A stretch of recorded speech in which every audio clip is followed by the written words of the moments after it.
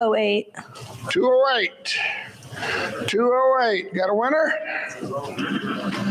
208. Nobody going once? 208. Going twice? Next one, Olivia. 64. 64. The $64 question is Do we have a winner? 64. I'll give you one more time, and I'm just going to take a spices home with me. Okay, another ticket. 110. 110. Today's high temperature. 110. Nobody? Tab sixty-four again. You got sixty-four? You got 64? Are you from South Texas? Yeah. Okay, well, come on up. Gary Stevens, Wildlife Habitat Federation. Glad to have you here and a stalwart in our South Texas Bobwhite Brigade for many years. Okay, let's pull out another one for a uh, one of the Mormon knives. A Quail Symposium, two Yeti mugs, and a gift tray, and donated by uh, Quail Forever. Quail Forever. 120, 122. 122. 122. Hunter Hopkins. Your wife will appreciate that. Oh, the official sausage of RPQR, Micklick sausage. Five pounds Micklick sausage, that's about $40 worth of sausage, and a cap, 131. 131. 131. Anybody like Micklick sausage? 131. If you don't pick that up holler at me and I'll eat it. And that is good stuff, folks, if you never had it. If you come to the ranch, you will have it. Okay, our next door prize is a Stealth Cam game camera donated by uh, Texas Parks, uh, donated by Stealth Cam, and a result of what you can get with a game camera taken out at the research ranch is three coyote pups drinking from a trough. So we'll sell those or market those together. And who we got now, Olivia? 142. 142. 142. 142. 142. Last chance, 142. Draw me another one, Olivia. 124. 124. All right, I got a winner. Who was it? Now, RPQRP are disqualified from the door prize, but that's not an RPQR guy. That's Zach. Um, is that Zach? No. Zach, okay. Also, one of our allies with South Texas Bobwhite Brigade for many, many years. Do you remember your silver bullet, Olivia? Yes, sir. Would you tell it for us? Here, I'm holding those tickets. Be true to your work, your word, and your friend by Henry David Thoreau. Uh, What's your name? Where you from? Oh, my name is Olivia Bean, and I'm from Ballinger, Texas. And my silver bullet stated, "Be true to your work, your word, and your friend." And it's by Henry David Thoreau. Do y'all have to give a war cry as a Ranch Brigade? Yes. Well, give us a war cry. All right, good job. Oh, we got one more. I'm sorry, one more. We got a gift. Uh, we got some. Whoo, some styling socks here from Quail Coalition. A photographic guide to the vegetation of South Texas. By, I'm not sure, Dana. I'm not sure who donated that. Tom Patel, maybe? Yes. Okay, Tom, thank you. And then a shirt from Dog Down. So that goes as a package. Who's our winner, Olivia? Number one two one. 121. Aren't you glad you're here rather than on 121 over in Dallas right now? Who got a winner? All right, got a winner. All right, thank you, Olivia. If you'll take those back to the booth, that'd be great. Gonna look good in those socks. I want to remind you that we are having dinner here tonight I think at six thirty. So I've heard rumors that some of you want to go to Perini Ranch Steakhouse or elsewhere, and that's we know that's great. But you do have a free dinner tonight here. It'll be by Joe Allen's. It'll be steak and chicken fajitas tonight, and I guarantee you it'll be good too. So hopefully you'll hang around. And the silent auction closes at seven thirty, I believe. Seven o'clock. Seven o'clock. All right, thanks, Dale. Congrats to everybody who won there. Um, before we get into our panel discussions, um, Another gentleman who needs no introduction, um, Mr. Joe Crafton. Um, Joe is currently the president of the Rolling Plains Quail Research Foundation. He's a Quail Coalition founder, um, Park Cities Quail Coalition founder, partner in Snipes Ranch, and the president of Quail Guard LLC.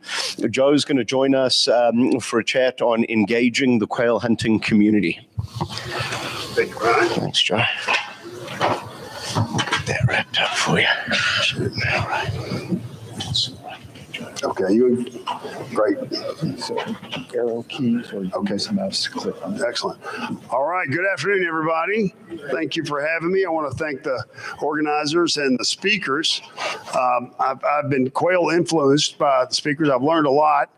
Um, and you got to be influenced. You can't ever get rigid and believe your beliefs and not uh, and not uh, be adjustable. I heard someone is here that represents uh, that's hunted with the Waltons. Sam Walton had a saying: it, "It's not what you don't know; it's what you know that ain't so that gets you in trouble." So uh, I'm- I feel like I've been influenced, and um, my wife uh, calls me a quail fanatic. And I looked up what fanatic is. And Winston Churchill said a fanatic is someone who uh, will not change, cannot change their mind, and will not change the subject. So uh, I don't know how many of you guys run people off by talking about quail too much, but my wife accused me of that. Um, but I have learned a lot, and I've learned a lot from some of the mentors here in the room, including Dale Rollins. He's a quail influencer, but he has not influenced me to change out my pointers for whatever kind of dogs he's running with these days. So can I can I hear an amen for that? Okay. So um, so with that, I want to start off by saying I am speaking for myself. He mentioned that I'm part of Park Cities Quail. I'm part of Quail Coalition. I'm also part of Rolling Plains Quail Research Foundation. But I'm up here speaking for myself. So those radio people that say the the opinions of this speaker do not necessarily represent the organizations. But uh, I do think I've had some observations after doing this a few years, and I want to share those specifically around uh, creating a community of quail hunters and the importance of quail hunters. If there's one thing I could leave you with, is the concept that quail hunters need quail, but quail need quail hunters. Um, I was talking to somebody earlier today. They had a generational change in the ranch. The old man loved quail hunting, and the kids don't care about it. They're deer and pig hunters. he said, You should see what has happened to my ranch since I started managing it for the kids instead of for the dad. So if you don't think quail need quail hunters, go look at a ranch where there's not a quail hunter, or there used to be one, and it'll break your heart. Um, so this is a picture the end result of some community building. So those may have heard about our dinner that we have in Dallas. Some people call it the Quail Barons Ball. Uh, it's kind of a big to do. We raised $2.7 million in uh, this last uh, March. And uh, we've done that pretty well consistently, over a million dollars. In total, we've netted, after all of our expenses, $18.2 million in the last 18 years. So it's pretty impressive. And um, I'm going to tell you how we got there because it, it, it's relative to the to what we're talking about, and that is that um, you got it. Quail quail need quail hunters, and what I'll tell you is not everybody in that room owns a bird dog. Not everybody in that room owns a shotgun. There are dormant quail hunters out there who like the idea of quail hunting. They love the coolness of the clothes and the gear and the dogs and the trucks and riding around the ranch. They just don't know how to access it. And so what we set out to do was was get those people together and people that are guests of others and kids and get them enthusiastic about quail hunting. You heard from John uh, McLaughlin a minute ago about the decline in quail hunters. There's some years we only have 30 or 40,000 quail hunters in the state of Texas from a high of 200 something thousand quail hunters, and that's a little scary. So we set out to do that, and I'll go back to the beginning. This is a this is a painting of my dad. My dad died uh, 20 years ago and he left me his shotgun. And I was a dormant quail hunter. I grew up quail hunting, got busy with my career, got busy raising kids and relocating, and landed in Texas 23 years ago. And my dad passed. I, I started thinking about well, the things we used to do together. One of them was quail hunting, and he, and he uh, wore the same size. So I, I, bar- I had his boots and I had his old gun, and I started quail hunting in Texas. And it happened to be at the second biggest boom in the last 40 years is 2005 and six and I just went bonkers. I went out and found 20 cubbies walking uh, with some d- mediocre dogs, and I and I just absolutely flipped out. And I decided uh, I wanted to join the Quail Unlimited chapter, so I looked for it, and there was no Quail Unlimited chapter in Dallas. Hadn't been for years. So the, I got three buddies to sign a um, form to to create a chapter, and it's called Park Cities Quail Unlimited, and that was in 2006 we had no idea what we were doing. We started sending emails out, and uh, on the right, you see the committee. That was our entire committee, and that room was uh, the Dallas Country Club. We overflowed. The, the fire marshal would have shut us down if he'd known how many people we packed in there. But we realized we tapped into some unmet demand, and that people really want to want to socialize. They want to know other quail hunters. And at the table, you could hear, "Oh, I got a lease there. I got a ranch here. I need. I'm looking for another gun. Well, I've got dogs. Well, I've got a, a, a ranch. I think I have birds." And you could hear the networking starting to take place. Exactly what we were we were gunning for. And um, there's an old saying, you know, better rather be lucky than good. Um, there was a, a famous saying from uh, from um, I'm looking for it here uh, from that was a quote uh, from J. J. Paul Getty. So J. Paul Getty said when they asked him what the secret success was, he said, "Wake up early, work hard." And find oil. So you know this. The, the, so that's a pretty good formula. So uh, we were working hard, and we found oil in the name of T. Boone Pickens. So uh, Boone heard about us. He loved what he had several friends to go to that first dinner, and um, he agreed to accept an award, playing to his ego, which was considerable. And he's a good friend, and, and rest his soul. But he loved to be to be talked about. So we talked about him and brought him up and gave him an award. He'd broken his arm that night, and he told a funny story. The day before, he broke his arm and he was on painkillers, so he was really uh, mic'd up and, and off off script. But he was a lot of fun, entertaining, and and uh, when they asked him how he broke his arm, he said, "Well, I was carrying my wife out of the shower." So it's a typical Boone Pickens story. Um, but his friend Bubba Wood encouraged him to get the award, and we went from making eighty thousand dollars that first year, which is a record for Quail Unlimited, to making uh, six hundred fifty thousand dollars that second year.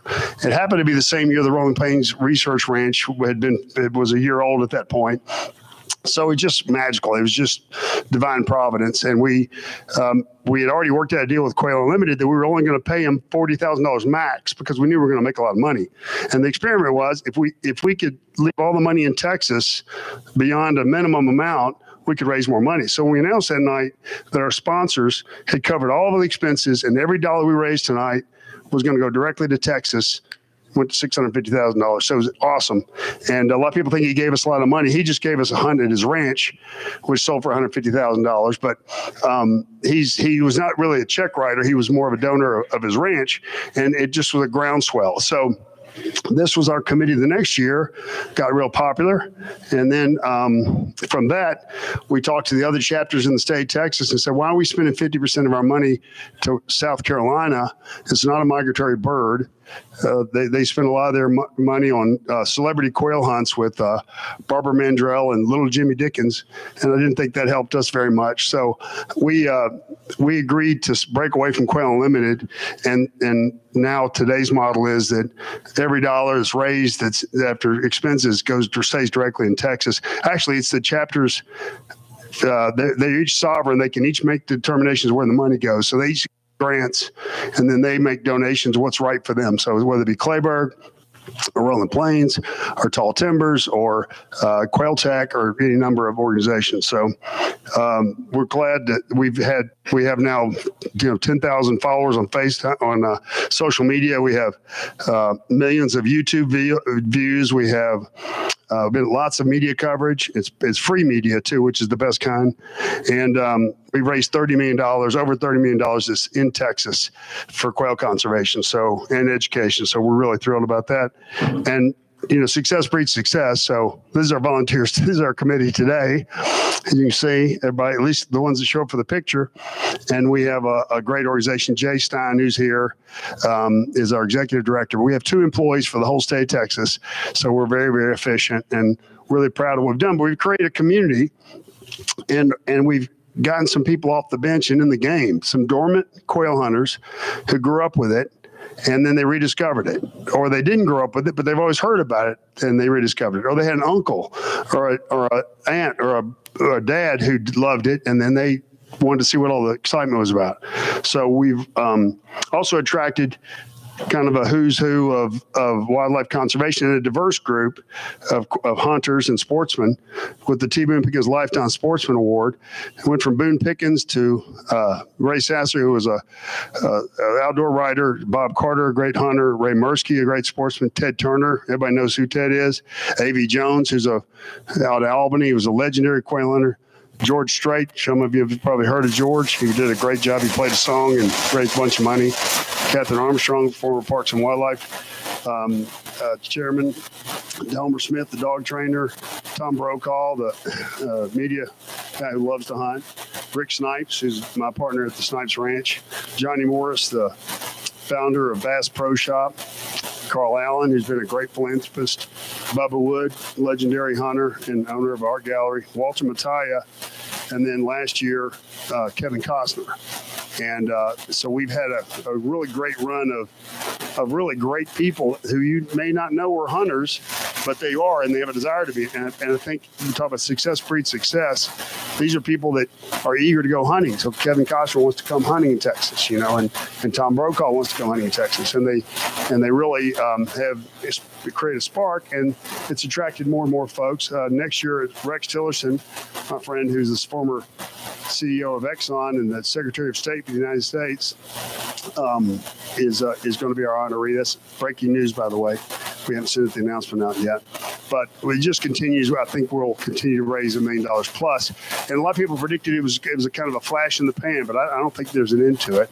But again, dormant hunters engaged, activated, and I think the same opportunity exists in Houston, uh, in Austin, San Antonio. We've got a great chapter in Midland that's that's going. Uh, Fort Worth. Uh, th- these are people that were on the bench and now they're in the game. And I, and I think the social media is another way to connect them. We, you know, I see some uh, people here that are heavily involved in social media with Texas quail hunters, and I think it's fabulous. Uh, the money just in in the Park Cities case has been spread around pretty well uh, to, to, several different organizations and done some tremendous work. And I'm here cheering for every one of them. I think uh, there's no competition in this group. The, part of the grant requirements are that you have to share all the information that you have, all your research. You have to be basically open code so that anybody can pick it up and run with it. No proprietary data. Um, and then we're proud, obviously, to those of you that were here yesterday to see the new facility. And you saw the old facility, it was a typical farmhouse with uh, one and a half bedrooms, and now it's uh, it's got the ability to host a function, which we're really happy with. And this is not part of that thirty million dollars. These are people who are generous people who saw what we were doing. In addition to the $30 million we've raised, they wrote some checks directly to Rolling Plains. So it's just a it's just a snowball effect, and it's, and it's fantastic. So back to the community message: quail need quail hunters, and uh, and so we're creating those kind of communities. Um, one community I want to point out that's kind of a, I guess, an idol of mine is if you've ever been to the, who, who here's hunted the Red Hills of North Florida or South Georgia or Alabama? Few.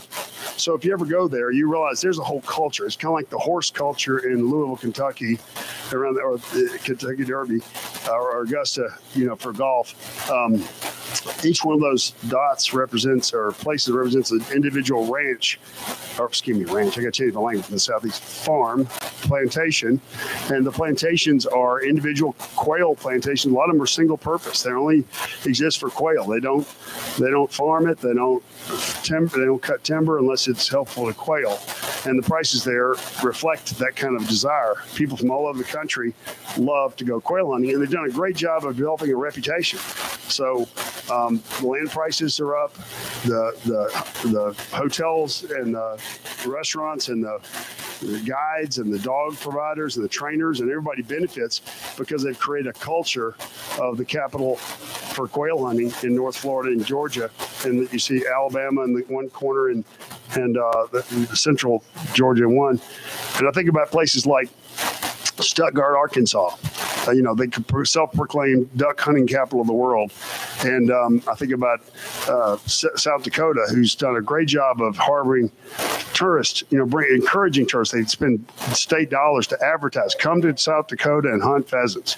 And I think you know, I think about wild quail, I think about South Texas. I think about West Texas. I think about uh, Geor- the Red Hills District of Florida and Georgia, and I- and I know we have that kind of opportunity to, to benefit all these small towns. When you drive through a small town that's just had the wind knocked out of it, and you see three abandoned gas stations and closed storefronts, and you know one time you see an old Welcome Hunters ha- sign that's just dangling down that's that's been beat up, and you know that uh, there's an industry there, and we just got to do a better job of of bringing new people into the sport. I'll talk about a few things that I think are challenges. Obviously, loss of habitat. I don't need to cover that.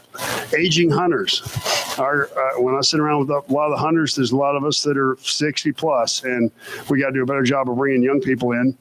Uh, lack of public land. Four percent of Texas is is public, and uh, then expensive ranches and dogs and gear. It is expensive. It's it's no question about it. It's an expensive sport. But I remind my friends who who don't get any meat. Who I like to fly fish sometimes, and they'll go to Canada and catch a bunch of fish and release them all. So it's still more expensive to catch a fish and release it than it is to catch a quail and eat it. So. Um, the loss of outfitters. When I first got turned on to quail hunting, you could pay somebody 500 bucks and they meet you at the at the cafe and take you out hunting, and then you could experience it like you were the landowner. And the, and with the loss of quail or the dipping quail, it's it's kind of collapsed that whole outfitter business, at least in West Tennessee, West Texas. I'm not that familiar with many people that have the, the ability to, to do an outfitting trip and then lack of government support. I'm going to talk about that in a little bit. It's not, you know, quail hunters kind of are self-sufficient. They take care of their own needs and take care of themselves, but we all need a little help. And with the decline in quail and quail hunting, we need to work on that. But the number one challenge is lack of quail. And what else? If you saw the correlation between those lines that John McLaughlin showed, the quail abundance and quail hunters, it's a direct correlation. Those lines followed each other. And so some some people have talked about we need to put a limit on quail. Well, two things wrong with that. One thing is quail hunters self-regulate. You don't hunt if there are no birds. I mean, I, I'll tell my I got married uh, eight years ago, and it was one of the boom years. And I said, "Honey, you're not going to believe this, but this is one of those years. I'm going to go hunt 25 days. I'm just going to do it, and it's not going to be like this." And I had to get all these witnesses to tell her it's true. This is going to be a good year, and that was uh, 15. And then the down year, and I might hunt five or six days because I'm, you know, first of all, it's fruitless, and secondly, you don't want to hammer what you got there. You want to create the, some carryover birds, but the more quail, the more quail hunting, and you've seen the spikes that go with the spike in birds. So if we can solve that, or at least do what we can to to to increase the population, huntable population, we will have more bird hunters. It just it's just the way it works. Uh, one of the one of the things that really hit me hard was a story um, about Tom Davis in, in Sporting Classics, and he said it, he called the loss of quail our greatest wildlife tragedy in America, and it's true when you look at the numbers. Um, and he used the term recreationally extinct in parts of the country, and where I came from, they are recreationally extinct. You might hear one every now and then, but in West Tennessee, where the field trials are for Ames Plantation, where I grew up, uh, they, they, there's no huntable population and you start looking at some of the headli- headlines that were going on in, when we started the, the community of quail hunters, you know, flight risk uh, in the Dallas Morning News, puzzling decline. It's time for solutions for dwindling quail. This is all going on in 2000. You know, seven- 16, 15, and uh, and then can anyone save the bobwhite? So here's my take on this. Joe Crafton's take on it. It habitat and favorable weather are foundational. So you heard all the speakers, and I agree 100% with them that habitat is foundational. It's like sports. You have to have great athletes. You can't you can't take bad athletes and make a great team. So you have to have good habitat. You have to have favorable weather, and then there's this all other. This other in the sports analogy, you'd say you have to have healthy athletes. If your star quarterback gets hurt, if you don't have good weight training, if you don't have good uh, you know conditioning, you could have a bad season. So I'm not. I don't want anybody to think I'm a zealot that, that I'm only concentrating on the other. I love. I've really spend a lot of time and money on habitat and uh, pray for the weather, but I can only affect the other. I can't can't affect the other two, at least at our place. So there's a uh, uh, right about that same time in 2012, we started thinking about um, disease. And so the board of Rolling Plains Quail Research Foundation decided to spend $2 million, which is basically the whole treasury, to find out what is that other, what is that X factor that influences um, the thing that we can control, which might be disease. And it, it's prevalent in other species. The the red grouse in Scotland uh, had a terrible parasite problem, and they've started putting medicated feed, fenbendazole, in their grit, and they knocked the bottom out of that cycle. Every five years, they had this huge cycle, and they figured out it's finally because of a parasite infection. And so now they put medicated feed in their grit. Well, here's the kind of projects that oh, that Operation Indi- Operation Idiopathic Decline which is what Dale Rollins called it, we funded. And you can see that everything from avian influenza to West Nile disease, coccidiosis, uh, aflatoxins, all kinds of things that we, we funded. And the prime suspect came back as a parasite. You mentioned, you heard earlier that in South Texas, the, they did necropsies on all these birds and seven found zero parasites. Well, that's not the case here in uh, in West Texas in the Rolling Plains. Um, so you saw certain the news, the, the news changing, the search for the smoking gun, parasites are a prime suspect. This is a picture I took that's pretty well published all over the place, but I could give you a hundred of these. And I hate to do this right after lunch, but I hope nobody had linguine. But it, we, uh, this is a close-up picture. Now, I've been hunting birds a long time. I've until recently, I start never looked at their eye. You've heard never looked a gift horse in the mouth. Well, when's the last time you shot a bird? You got excited. Hey, give me that bird. Let me look in his eye. It's not. It's not a typical thing. You put in your vest and you keep going. And so I learned about this and I started looking. And, and at our ranch, it was 70% of the birds that I tested, and I field tested them like I'll show you a video here in a second. Um, they had worms in their eye that you were visible. You, a lot of them live behind the eye, and they even live in the ducts, in their tear ducts and so forth. So do a proper ne- necropsy will, will really tell you the tale. But if you just do a field inspection, which I'll show you a video here, you can see it's a 70% correlation. So you take 10 birds in the bag, you check them out, you have you have say five of them have eye worms. Guess what? Your ranch has eye worms, and if you uh, take sample enough of them, you'll know if you have them or not. You don't have to send them to the lab if you sample enough of them. So 70% of the time that a necropsy proves it, you could have proved it by doing a field inspection, if that makes sense. Um, this is one bird, and this is the birds to give you a relative measure. Those on the right, those on the right are actually cecal worms. They're in the cecum, and the average worm. I'll show you a chart here in a second. Uh, so they rob them of nutrition in the stomach because they're competing with with the nutrition, and then the one with the nickel there, for perspective, is is is in the eye. And so well, they found none in South Texas. They found a lot here. Here's a video of me doing it. That's my those are my knuckles there, and this is the inspection method. You squeeze on the side of their eye like you're popping something, and then watch what comes out. Look at that. So that's Pete Delkins filming that, and that's my, me doing it for one of our birds. And that's not an uncommon sight uh, in the rolling plains. And it, but again, you have to do, you have to actually pick them up, and I'll let them cool off for an hour or two, and then do it because then the worms kind of realize the host is dead, and they seem to be easier to find. But there's a nick and neat, nick and say it for me.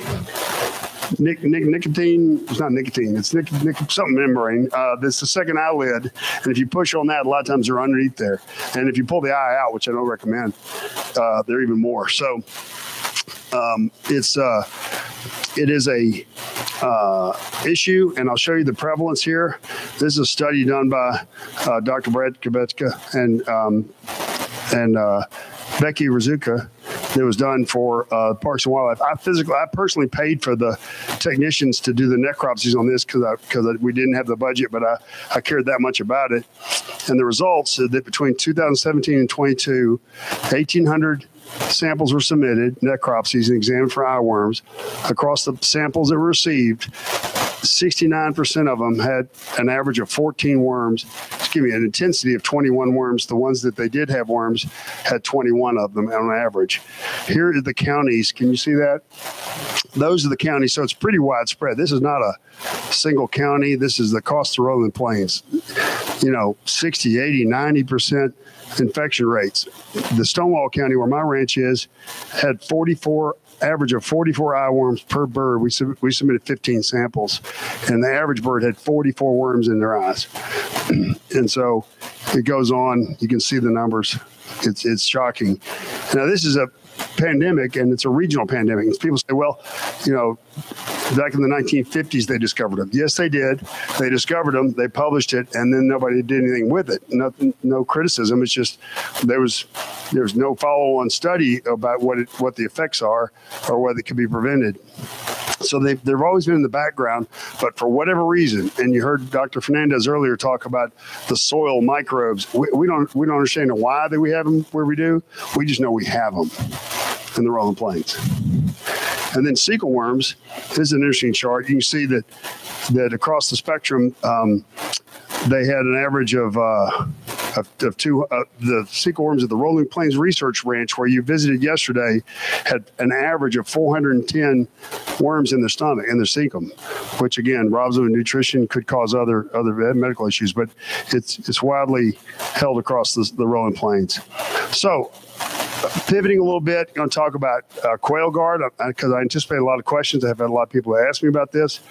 So it's an 11 year project following idiopathic decline. Uh, Rolling Plains and Park Cities Quail has been paying uh, for this research. We've spent $4 million to date. Uh, about half of it came from Park Cities quail, and half of it came from Rolling Plains, and of course, most of the Rolling Plains came from Park Cities quail. So, you can say that that's where a lot of the money went.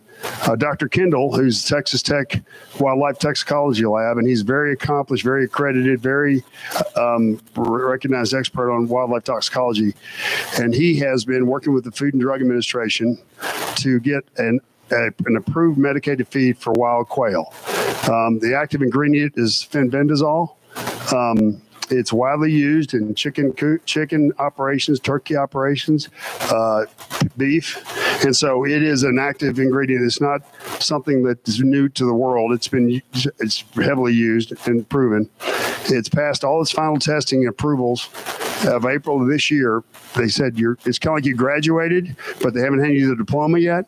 So they've said well, you're done. You all the testing's complete. There were no complaint. There were no pushbacks from other other uh, scientists, but um, we are still waiting on Merck, who owns the patent for fenbendazole, to give us the label description that will go on the labels of, of Quail Guard. So we anticipate that it'll be ready um, in the spring. We're hopeful, and we've been saying this now for four or five years. But, but Bryant Mills in Aledo, Texas, is going to be producing it for us. They have 180 people, uh, feed stores that sell their feed across the rolling plains. It's a palatable formation that's been tested and tested and reformulated to make sure the quail will eat it. It contains elements that help the, the immunity. It has vitamins in it. And the royalties, this is one of the best parts of it, the royalties are going to come 66, 62% is going to come to Park Cities quail, who will then again spend it on more research. And then uh, a third of it will go to uh, Dr. Kendall, uh, which he will probably use to spend some research as well. But but it's not going to Merck or or any Monsanto. It's going to the royalties are going to come to us. It is historical. It's the first medicated treat for a wild bird in the U.S. In a natural habitat. And the only other drug that's ever been approved for a wild animal in the U.S. is a bighorn sheep. So that's pretty amazing when you think about it. People say, why does it take so long? Well, we didn't know. We really didn't know how long it was going to take it. Apparently, it takes a lot longer. It's a lot more expensive than anybody knew. So if quail safe people are here, we have no arrangement with them other than they are going to be, that's going to be the recommended uh, feeder that was tested and, and approved by the FDA. And it's going to cost around 1250 bucks and a uh, piece, but there's bulk discounts available if you order a bunch of them. We ordered them at Mud Snipes Ranch. And so we were part of the three ranches that they tested this fenbendazole treatment on. The Snipes Ranch is located in Aspermont, about an hour and 15 minutes north of here. Uh, Rick Snipes is the, the, been for 30 years. He's been grooming his ranch. It's a single purpose ranch. It only exists for quail. We don't care about cattle or, or wind or hay or anything but quail. 6,000 acres. This is where the feeders are located on our place. So we have really good coverage. It's uh, it's 60 feeders about a seventy thousand dollar investment. Um, but those things are built like a Sherman tank. You can, I think they'll last for decades. Um, we do two cycles a year. We put a bag in each feeder in in October, so thereabouts when the grasshoppers go to start going away. And then again in May, we put a bag in each feeder. And the rest of the time, you can use Milo and wheat or whatever. And then it costs about $10,000 a year for our 6,000 acre ranch to do this treatment. It's not a year round treatment. It's a, you, and it doesn't prevent uh, parasites. It just kills them and cleans them up. And then they'll, they'll may contract them again, but they won't be loaded with parasites the way the other. So I'm coming down the home stretch here. Um, so we had 100% infection and, an intensity of 44 bur- uh, worms per eye. It dropped to 70%. This is me doing the test in the field in 2020. And then we had 20, about a 25% infection rate last year, but the intensity was a lot lower. We went from 44 um, in the necropsy in the eyes to seven, which probably means they cleaned them up. But by the time I shot them, uh, they'd gotten a few more. Uh, so we trapped 20 birds uh, in, in that with the um, and used the the mobile testing lab. We now have the DNA of the worm. We can swab the bird, not have to sacrifice the bird, and determine whether they have eye worms or not. So they did that recently, and we had no eye worms, and we only found four cecal. But we only found four of the 20 birds had had cecal worms.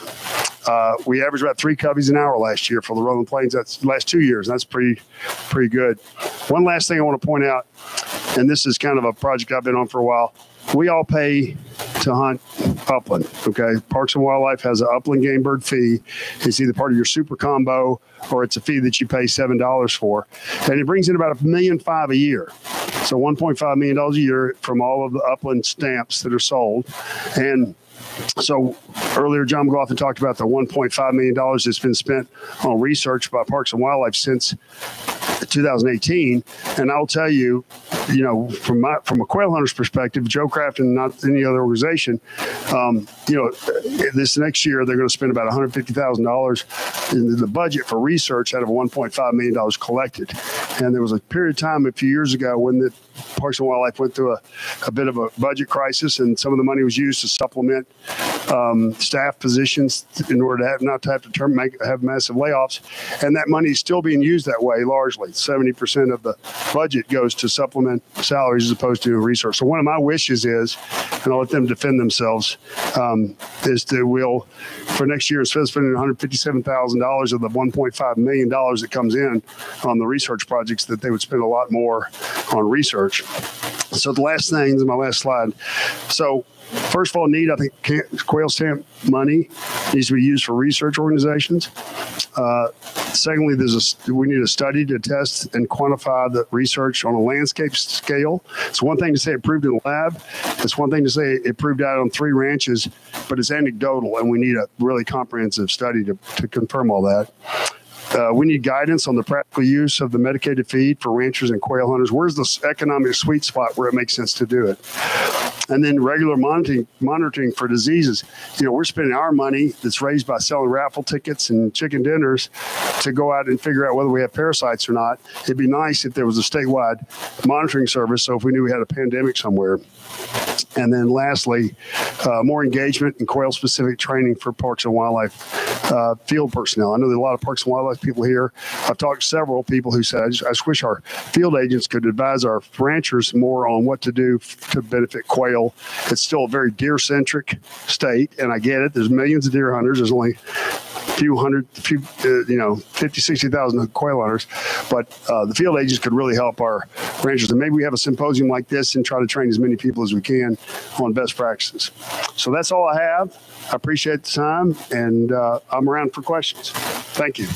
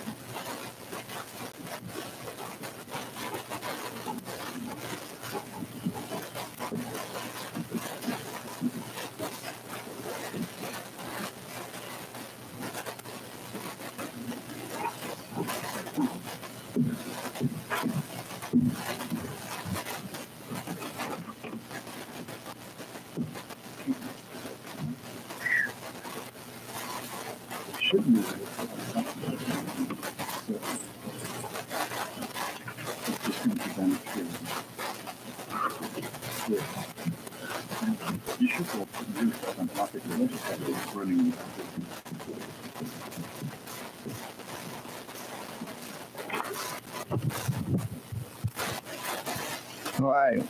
Good afternoon, everybody. Uh, haven't had the opportunity to meet everyone here today, but my name is John Silovsky. I'm Wildlife Division Director, Texas Parks and Wildlife, and going to be uh, trying to help us through these next couple uh, conversations we're going to have with a panel discussion on a variety of topics. Uh, uh, as Dale mentioned this morning on his uh, comments, you know, we really look for uh, audience participation, and so we hope that the message that some of these folks will share with you will stimulate some questions and uh, we'll have a good discussion this afternoon. So, our first group of speakers are going to talk about quail manage- management for landowners and managers' perspective and what those decisions mean to them. We have four special guests that will be uh, uh, part of this conversation, and if those folks will start making their way up here to the stage, I'll introduce them right before they get ready to talk. So, we have Jerry Bob Daniel, Celeste Lacey, Josh Sparks, and Jesse Wood that'll be participating in this panel. And so these folks, like I said, are going to discuss the benefits and challenges associated with quail focused managed practices on private lands in Texas, how they prioritize those management strategies while considering the holistic management of that particular property. And then part of that conversation I expect will be uh, what kind of conflicts these decisions can create from an economic standpoint and just a business decision points for them. So, uh, as I said, Jerry Bob is going to be our first speaker uh, this afternoon. Jerry is the co-founder of the Circle Bar Ranch, which is located in northern Knox County. He and his bride uh, built the, started building this ranch in 1981. Uh, the Daniels have uh, put together about 29,000 contiguous acres over that period of time and, and purchased that from sep- 35 separate properties. Uh, Jerry Bob is also director of the Pitchfork Land and Cattle, Cattle Company, which is also a family operation located in King and Dickens County. And that ranch has been in the family since 1883. So, Jerry, you ready to get us started? How'd you get me into this, Dale? you know, I wanted to ask first thing, is anybody uh, carrying a weapon? Because I'm, I'm hoping I'm not the only guy that runs cattle here. Uh, Dale invited me to, to you run cattle good, stay close to me. Uh, we were in Ashburn, what, 25 years ago? Doing something, I believe? Just 2002, okay. That's close. And uh, I gave a couple of uh, comments. I think Dale still quotes me on one of them. We, uh, I told him that, uh, you know, well, first let me start back. In, in 81, I was 22 years old. I married this woman from New York. and we started uh, we started talking about doing what we're going to do with our plans. And I said, well, I'd like to manage ranches. That's what I've been interested in. My dad managed some smaller ranches in Knox and Foard County all of his life. And he started out at 21 years, and I started out at 22 years old managing a ranch. And uh, she said, well, I'd rather own a ranch. I said, well, good luck. I don't have any money. She said, well, I'll do. We'll work together on this.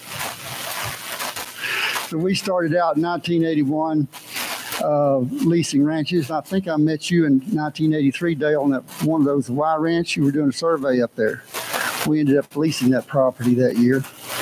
And within two years of marriage, we'd leased 100,000 acres in four counties. And I didn't have sense enough to know better because we were paying 18% interest on our money. Figure that one out. Well, we had to pretty fast. But we we went on a journey. Probably our first ten years. I always tell. I'm writing a book right now, Dale. You're in it. I'm almost finished with it. But the first ten years, we didn't make a dime, but we didn't lose any money. But I sure learned a whole lot of things. You know, in '81. Uh, Mr. Burgess wanted to lease that ranch up there, and so we started leasing it. We got a dollar an acre for it. You wanted quail, deer, whatever. And uh, from that, I learned a whole lot. Of, there Ken Miller. I don't know if you knew that biologist from Amarillo. I only met him one time, but I started purchasing land in, in 1990. And uh, I asked Lynn to come down because of you and, and some of the talks I'd seen you give at the cattle raisers uh, meetings about land use and what you need to do with property and be careful what you do to it. Because I had witnessed my father married and my mother when they were 16 years old, and he was doing, you know, yesterday when we made that first stop, little terrace or berm you had the road, my dad was doing that in the 60s. And he just learned from hard work and not a lot of education, just common sense. And if you don't get anything from my message today, you, common sense will get you through a lot of things. But anyways, we started buying land in 1990 because we saw an opportunity. To that point, we'd only been leasing property. We had no deer. We were we had cattle and wheat was our income. There was no wildlife income to speak of because most of the ranches, ranches that we were leasing, they were getting all the income. So I started buying property because interest rates were cheap, land was cheap. You're talking about land values back then? I bought a property in 1995 for $75 an acre. And nine years later, I sold it for 350 and it just kept going up. Probably just kept going up. Luckily, I was in an area that I grew up in and knew all the landowners. 70% of the properties, uh, you know, 29,000 acres we bought over a period of since 1985 till last year. And it's all contiguous out of 35 different properties, and we'd get 75 different signatures to get all that done. So it took a while to do that, but I never thought that we would make it contiguous like we did because I was afraid Hunter was going to buy it all. And remember what I said in, in that Astronaut meeting? Do you want to buy the land and lease it to the hunters, or do you want to let them buy it and you lease the grazing from them? So I had my mind made up that I wanted to buy it and be in charge of what was the destiny was for myself and my family. Well, I haven't shot a bird since 2018. That was the last good year I remember, but it was a good one. We went out, as a matter of fact, I, we leased our hunting that year to some, some guides and hunters. The least coveys we got up one day was 21, and the most I got one day was 39. It was a great year. But I don't know what happened after that. Maybe you folks can educate me on that. But what, what, what have I done help quail? You know, it was talked a little bit earlier uh, today about uh, fragmentation of property. Well, we put 29,000 contiguous acres together. Now, you say cattle can't run with quail. I, be, I believe that they can. Because in the 60s and 70s, I promise you, we've got more grass than they had back then. We manage better, and we have a lot fewer quail today. And so uh, there's something else wrong. I think there's something else that accompanies that. This morning we heard about rainfall. We've got what five five percent that we feel like we have control of. Rain controls the rest of it. There was a lady by the name of Evelyn Browning Garriss. I don't know if any of you have ever heard of her or not. She's passed away. She had cancer about eight or 10 years ago and passed away. She came to the cattle raisers meeting in 1991. She was a climatologist, and I think she was out of Denver, Colorado. And she gave the best meetings about the climate. And she told me something I'll never forget. She said, global warming. She said, let me tell you about the climate. We run in trends that go about 20 to 30, sometimes 50 year trends. These aren't these little five year trends they keep talking about. This dry period, we had a wet period from the 60s into the 90s, wetter period. We're going to, and she was talking about this in 1992. We're about to enter a dry period. Then came the bad news. It's going to last about 30 years, maybe 40. We're in that right now. That's what that's what she predicted. I never forgot that. So careful about thinking that we really control what's going on too much out there, but I think we have a lot to do with what on the small things that we can do. Fragmentation of land. Now we live in northern Knox County, which is about 100 miles due north of here, and we're very fortunate because to my east is the Waggoner Ranch, 540,000 acres. Then you run into a little 15,000 acre of broken land around the Gillen community. And then you run into our ranch. North of us is the Halsell Ranch, about 40,000. Spot Box to the south, about 88,000. Masterson's west of us, another 80,000. Ross, Sixes, Pitchfork. So we have a large area of of, of ranch land, and someone was talking earlier about 300,000 acres, maybe affecting the genetics of the quail. We have a pretty good little area right there, I think, from that regard, and it's not being broken up. So maybe that's a little something that we're contributing to. Maybe not overgrazing is helping. And uh, and I just when we lease now, we have to look at what we lease our property for, what we get out of our property. In 1998 or, or 2002, 90% of our income came from wheat and cattle. And this is your quote. 10% came from hunting. 70% of our profit came from that 10% of hunting. That was the quote. Today it hasn't changed much except our, our gross revenue has gone up considerably with cattle because we have cattle, we have horses, we have some recreational value and other things. So it's more like 60 40 now.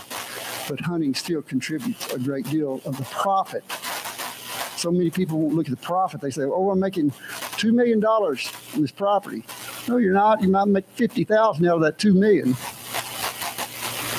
Pitchfork Ranch, they leased their property for 21 years through a hunting guide who retired about four years ago. We collected $11 million out of that 21 years. Most of that went out toward expenses. The ranch got very little of it because my father-in-law, bless his soul, he passed away two years ago. He said he's from New York. He said, "We're not leasing that ranch. The family needs to keep using it."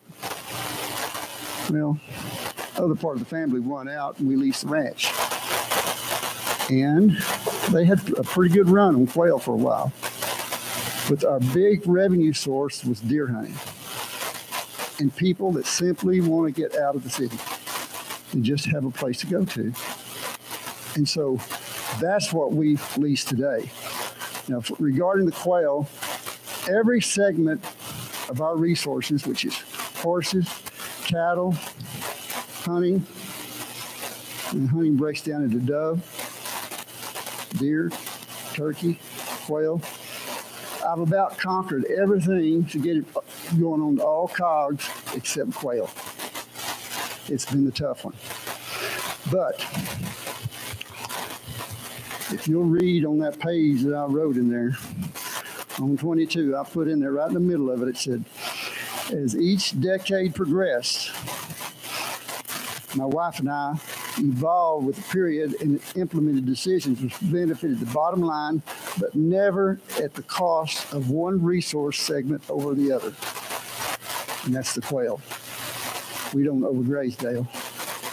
And I, I think that that's important. And we do have quail, but I don't believe we have enough to hunt.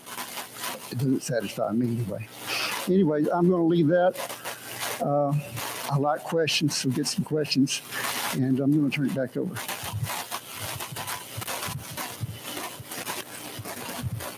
Thank you, sir. Appreciate that, Mr. Daniel. Very interesting story there. Lots of good experiences to draw from. Our next speaker is uh, Ms. Celeste Lacey. She is the ranch manager for the Southern M Ranch located in Pearsall, Texas.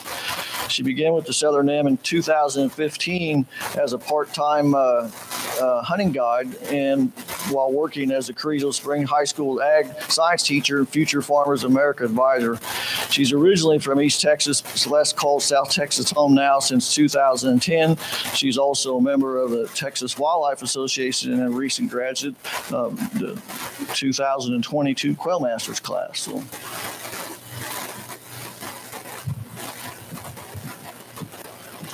Thank you for that introduction. And I'd like to thank Dana and uh, Dr. Rollins for asking me to be a part of this panel. It's always uh, nice to see everybody. And uh, I'm going to quote him with saying that uh, we're standing on the shoulders of giants. And everybody out here in this audience is a giant in some aspect.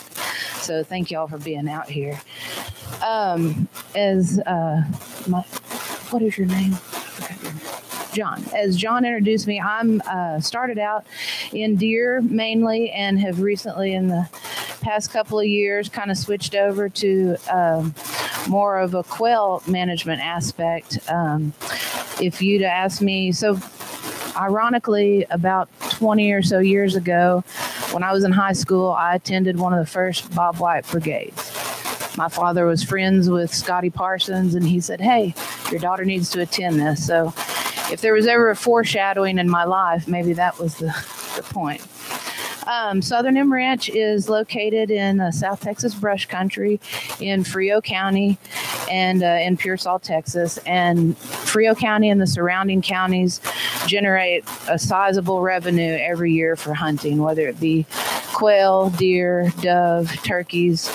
Um, there's a lot of revenue that comes into those counties. So we need to make it a priority to promote hunting and quail habitat and conservation. Um, we are not a commercial hunting ranch. Uh, our focus is to continue to vi- provide suitable habitat. My goal is to provide a great hunting experience for our guests and to use each opportunity each weekend they come out to maybe talk a little bit about conservation and habitat management and the importance of that and get the future generations uh, involved. Uh, that's job security for me. Uh, as long as I can keep my landowners invested, then I feel like we, we all have a job. Uh, Southern M Ranch is approximately 5,000 acres, roughly divided into five unequal pastures. Uh, the surrounding areas are medium to large size ranches and a lot of farmland. So, in our particular area, we're kind of a um, little oasis um, as opposed to the surrounding uh, where it's nothing but farmland. And we have some unique topographic features that um, lay into different soil profiles and in a, in good years and when we have good rainfall it can yield to a very diverse plant community. So which leads to great conditions for quail. Um, for habitat management, uh, which I feel like is one of the key things, um, some things to think about when you're thinking about your property and how you might manage it. Uh, think about your goals and objectives. Are they realistic to your property? Um, I mean, you may want to do one thing that's working in West Texas, but in South Texas, it's not going to be good. Uh, take Dr. Dale's advice think like a quail. Really get on their level. And that's from where you're putting your feeders, um, where you're putting your watering holes, how you're rearranging things like that. Really get on their level, and you take a different perspective when you think how that animal um, thinks and how they go about their daily life. Um, Mr. Ricky and Mr. Ken in the back uh, know your plants and how to manipulate them.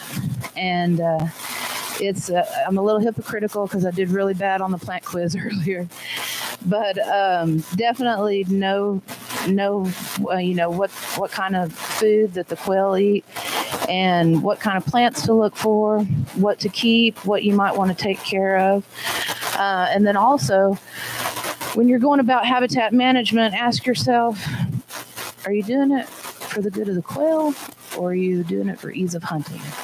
And sometimes those things can overlap, but I feel like uh, this is our land manager's perspective. The most important priority is your habitat and creating that for the quail.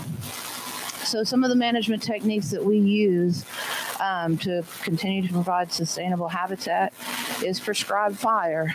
Uh, last year, we did not get to, we burn about 10 to 15 percent of um, our acres, and um, usually we try to prescribe, we try to burn about 40 percent. That seems to work for us, and so it's kind of a if then. If we see a lot of fuel in places that we need to burn, then we'll try to burn.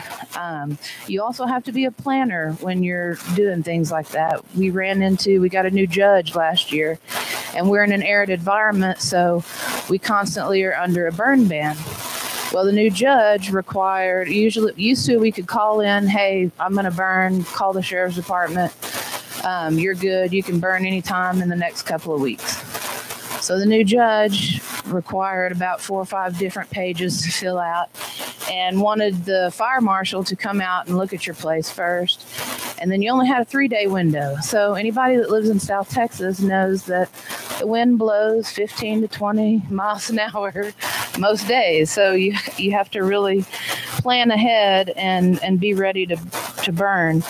Um, we also uh, started mulching and creating those mottes that Dr. Dale was talking about in softball size range and have really seen some. We took some uh, drone photos and it's it looks really good, um, but you really also want to.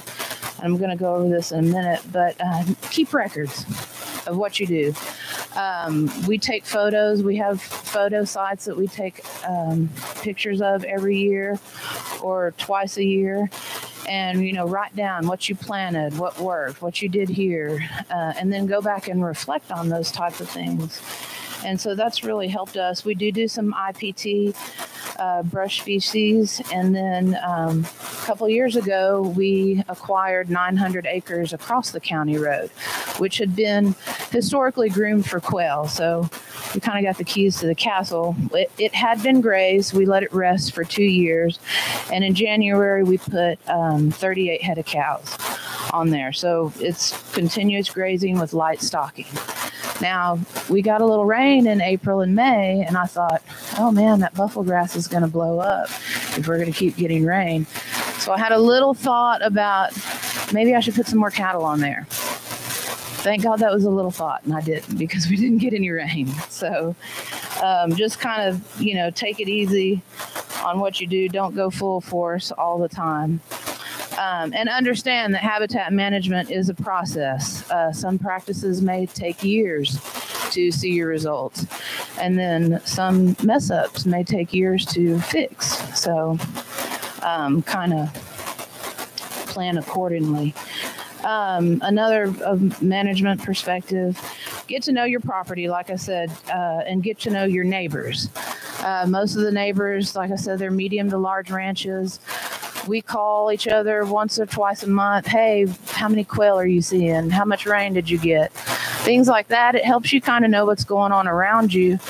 And a lot of times, if you know my neighbor or I said, "Hey, I just saw um, some young birds," well, we're going to alter our uh, hunting schedule due to that. So last year, we had there was a third hatch, and so we didn't end up hunting till late January, early February, and we kind of pushed that back.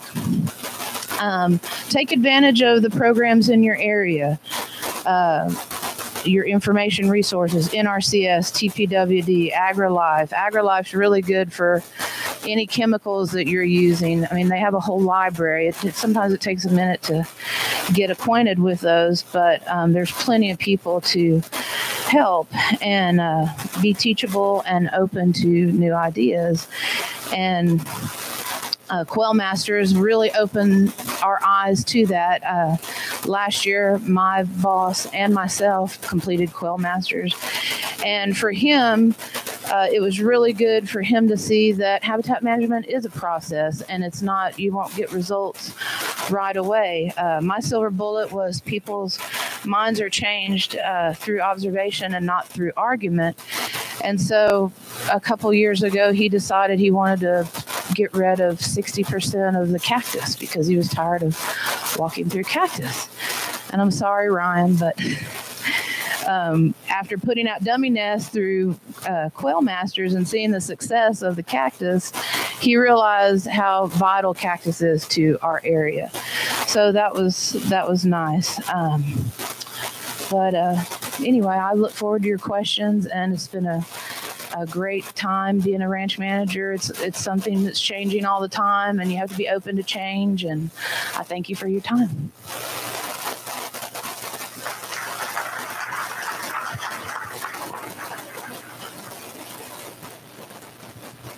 Okay, thank you, Celeste. So next speaker then uh, to share with us will be Josh Sparks, and Josh is the ranch manager of the 45,000 acre Jones Ranch, Alto, Colorado division in Brooks County. Two primary management practices they utilize on that property are grazing and prescribed fire, much like we've heard about already. Um, the goal of those management practices is to maximize habitat for quail as well as deer. So Josh,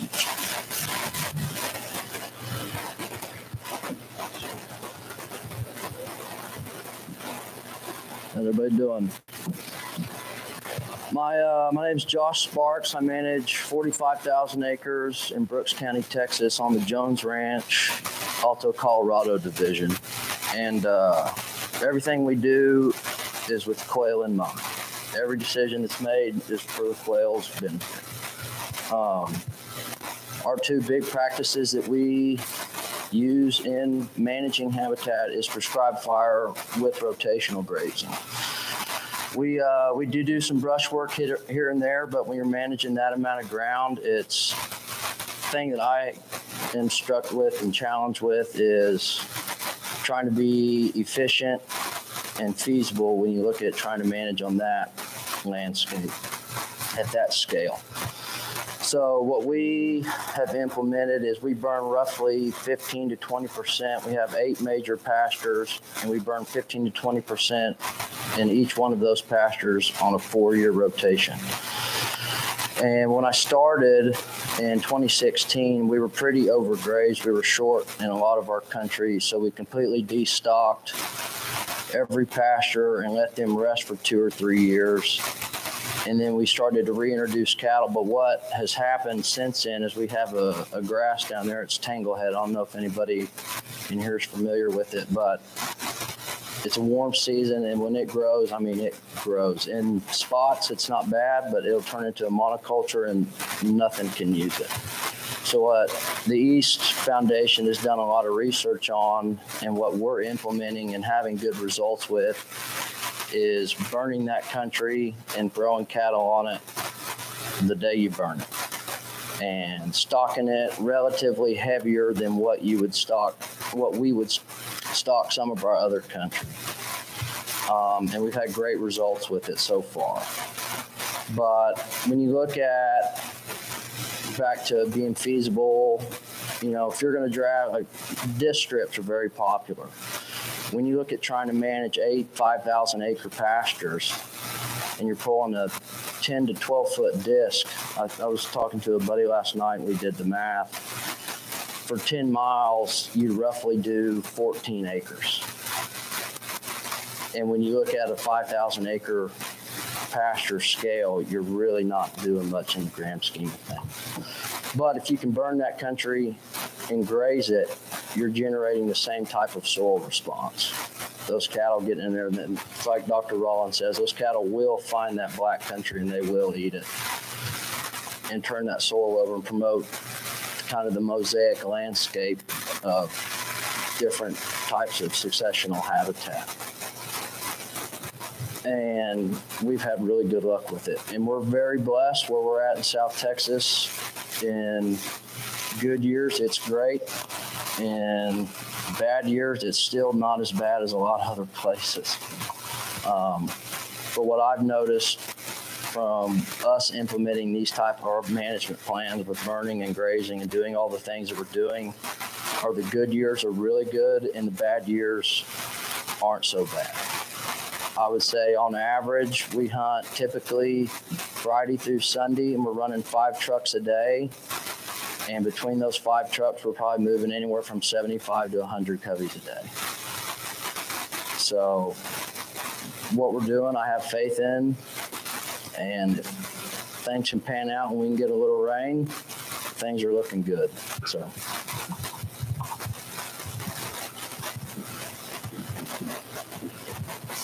Thank you, Josh. That sounds like a lot of quail. You guys should be happy. So, so the last speaker for this panel is Mr. Jesse Wood, and Jesse is the ConocoPhillips Permian Basin Director of Ecology and Sustainable Development. In this role, Jesse oversees stewardship activities and management of natural resources on more than 195,000 acres in the Permian Basin of Texas and New Mexico.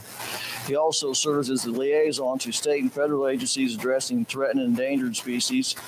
Lots of challenges associated with that. Um, species and concerns facil- facilitating implementation of corporate sustainable development and biodiversity initiatives. Uh, in a previous life, Jesse also has a few years working for the NRCS, and uh, he's going to share his ideas on managing some of that Permian Basin country. Thank you, John. Appreciate that. Appreciate the opportunity to, to be here and uh, see a bunch of folks I hadn't seen in a long time. So uh, always a, a great opportunity to come to these events. Um, a couple of folks earlier mentioned uh, energy development. I think uh, John McLaughlin mentioned it. Uh, Dr. Hernandez mentioned it as well. Uh, I believe on the map, I can't remember if it was Dr. Rollins in the first session, showed a map with where everybody was from. There was one little dot in Midland. I think that was me. I'm not sure if there's any any other folks here or not. If you hadn't been there, come for the scenery. It's it's beautiful, especially right now. But uh, but no, there's there's a lot of special things about the Permian Basin. There's a lot of challenges as well. Uh, obviously, my angle is from a um, you know energy development standpoint. Uh, right now in the Permian Basin, the oil field is is blowing and going uh, like it like it does. Uh, you know, it's up and down. It's definitely up now. Uh, a couple of things that are that are well fairly recent developments is uh, the renewable energy development, low carbon initiatives, low carbon projects. If, if you've heard anything from oil and gas companies, there's a, a lot of um, uh, influence from investors, potentially uh, from folks that are not intimately familiar with the energy industry. A lot of uh, impetus on um, implementing low carbon practices uh, to, to meet um, initiatives that have been have been set at the corporate level. Uh, just to set the stage a little bit, uh, John mentioned we have just under 200,000 acres in the Permian Basin. A lot of that is situated in Upton County, uh, just south of Midland, Odessa. We have a fair chunk of ground in southeast uh, New Mexico and Lea County, um, and then up around Artesia as well. So it's a pretty broad range of, of habitats um, and uh, uh, ecosystems there the challenges that, that we have, or that the, the requests that we field regarding renewable energy, uh, present a, a, new set of challenges for us. Um, from the outset, what we did, starting back about 2017, is start building conservation plans for these properties. Uh, we started with a blank slate, um, but our challenge or our, charge was to put together conservation plans that would demonst- demonstrate that uh, energy developers can also be good stewards of our land. Uh, if you know anything about development, uh, if you work for an oil and gas company or, or any of the renewables projects, that can be a challenge. Uh, we've got to have energy. It's got to come from various sources. Uh, so it's our job to evaluate those projects and do the best we can to minimize the impact of projects on the landscape. So it, you may be aware, oil and gas, typically wells are developed on a, on a certain spacing, maybe 160 acres, maybe 80, maybe all the way down to 20 acre spacing, depending on the Railroad Commission and field rules at the time. Um, there are not as many guidelines or, or not as much policy in place when it comes to uh, wind farm development and solar field development. So these are things that we have to navigate, and they're all intertwined. The Permian Basin's already heavily impacted from uh, an oil, oil and gas standpoint. So our challenge is, what can we do to minimize impact?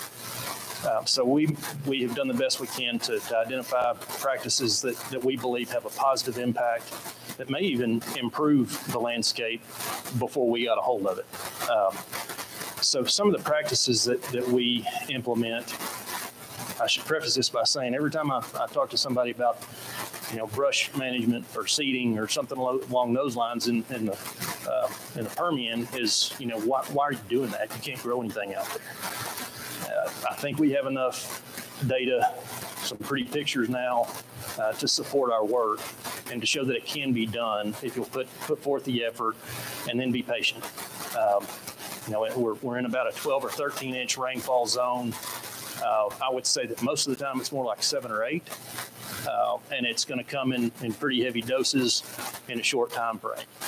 So what we try to do is, is set the landscape up so that it can take advantage of, of rainfall uh, when it comes. Um, a, a, few things that we've really implemented and, and pushed on our surface assets is uh, use of locally adapted native seeds. You, you, heard from Colin Shackelford earlier. We work uh, with Texas Native Seeds quite a bit. Uh, the Permian Basin Panhandle Native Seeds project uh, to develop those locally adapted seed sources and then put them into practice. They, they directly they're directly beneficial to us and what we're trying to do from a, a stewardship stand, standpoint.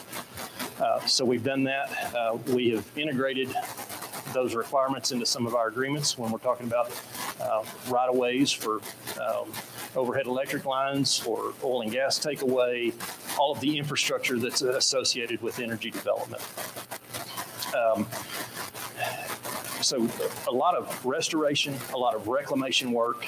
We actively seek opportunities to apply practices to uh, to take those decommissioned sites, tank batteries, well locations, whatever, they may be, and create usable space for wildlife. Um, and we've had some some really good success thanks to favorable weather, periodic favor, favorable weather, uh, to show that it can be done.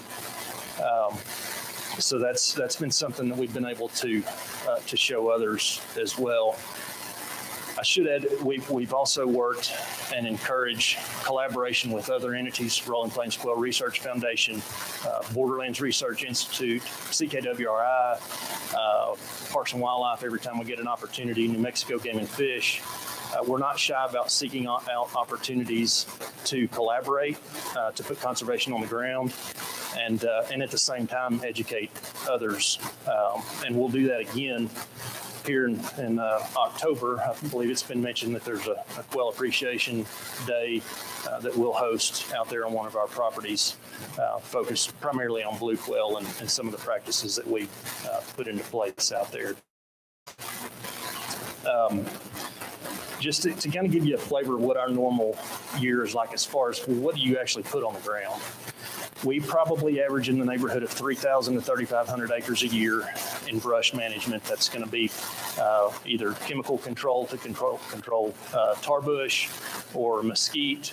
Uh, also, some uh, mechanical management that primarily focuses on playa restoration uh, managing the, the encroaching mesquite that surrounds those playas, and then habitat connectivity um, and, and restoring grasslands in that area. Uh, just give you an example of, of one site that we've collected some data on. Uh, we've applied spike or tebuthiuron um, on tarbush on a site where we had uh, run transects and, and the productivity there was about 40 to 50 pounds per acre, which is essentially nothing. Um, if you look at eco-site descriptions and kind of infer what, what may have been there previously, it would lead you lead you to believe that it could produce up to 1,000, 1,100 pounds per acre. Um, and following application, we that's about what it was. So the potential's there. Um, we just have to be willing to, to put it on the ground and then be patient and let it happen. Um, see that I, I, do want to emphasize, you know, I'm with ConocoPhillips, uh, Quail Ranch LLC is a subsidiary of ConocoPhillips.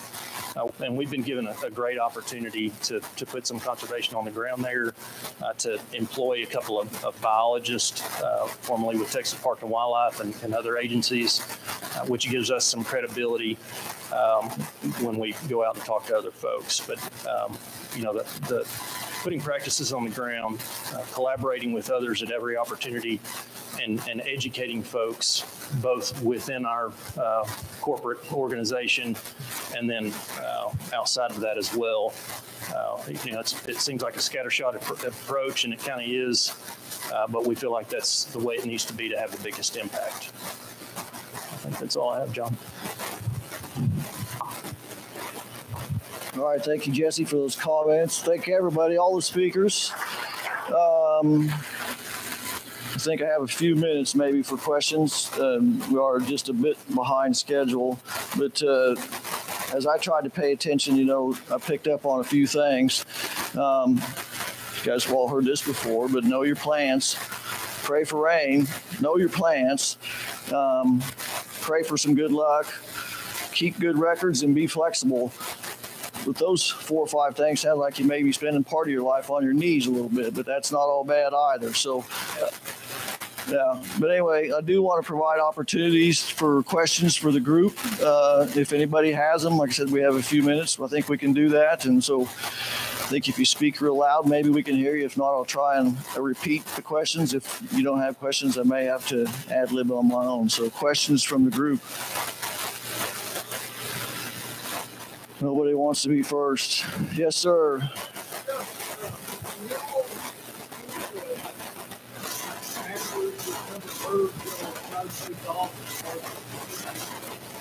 Yes, sir. So we followed the. Oh, the question was, do we track how many birds that we harvest given from our surveys? Is that right? So we've always followed the 15 to 20% rule, and we have never come close to it. Yes, sir. Yeah.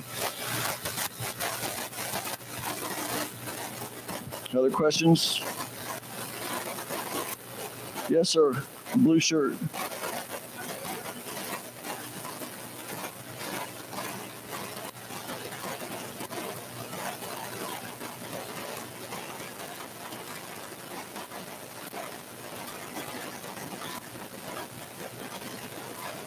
Don't know that uh, any of these speakers want to address that. Dale, you want to take that? How the parasites are spread from quail to quail? Fascinating deal. Uh, a quail eats an infected arthropod, a grasshopper, a cricket, something like that. The intermediate, the, the, the arthropods are an intermediate host for this eyeworm or cecal worm. The eyeworm we'll focus on.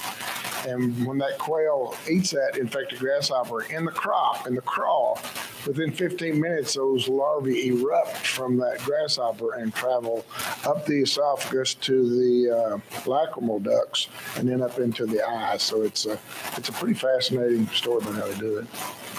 And that's a short story. Thank you, Dr. Rollins. Other questions? Well, I'll, I'll throw one out here for the group, and you guys, uh, gals, pick and choose who may want to go first or who may want to try and address this. But you know, we talked about a very various sizes of properties. You know, uh, commercially owned, privately owned, but still, I think the question from an economic standpoint, you know, how do landowners and managers balance the goals of quail conservation with other land use objectives, such as livestock management and or other recreational opportunities, and what innovative approaches have been successful in achieving these dual objectives?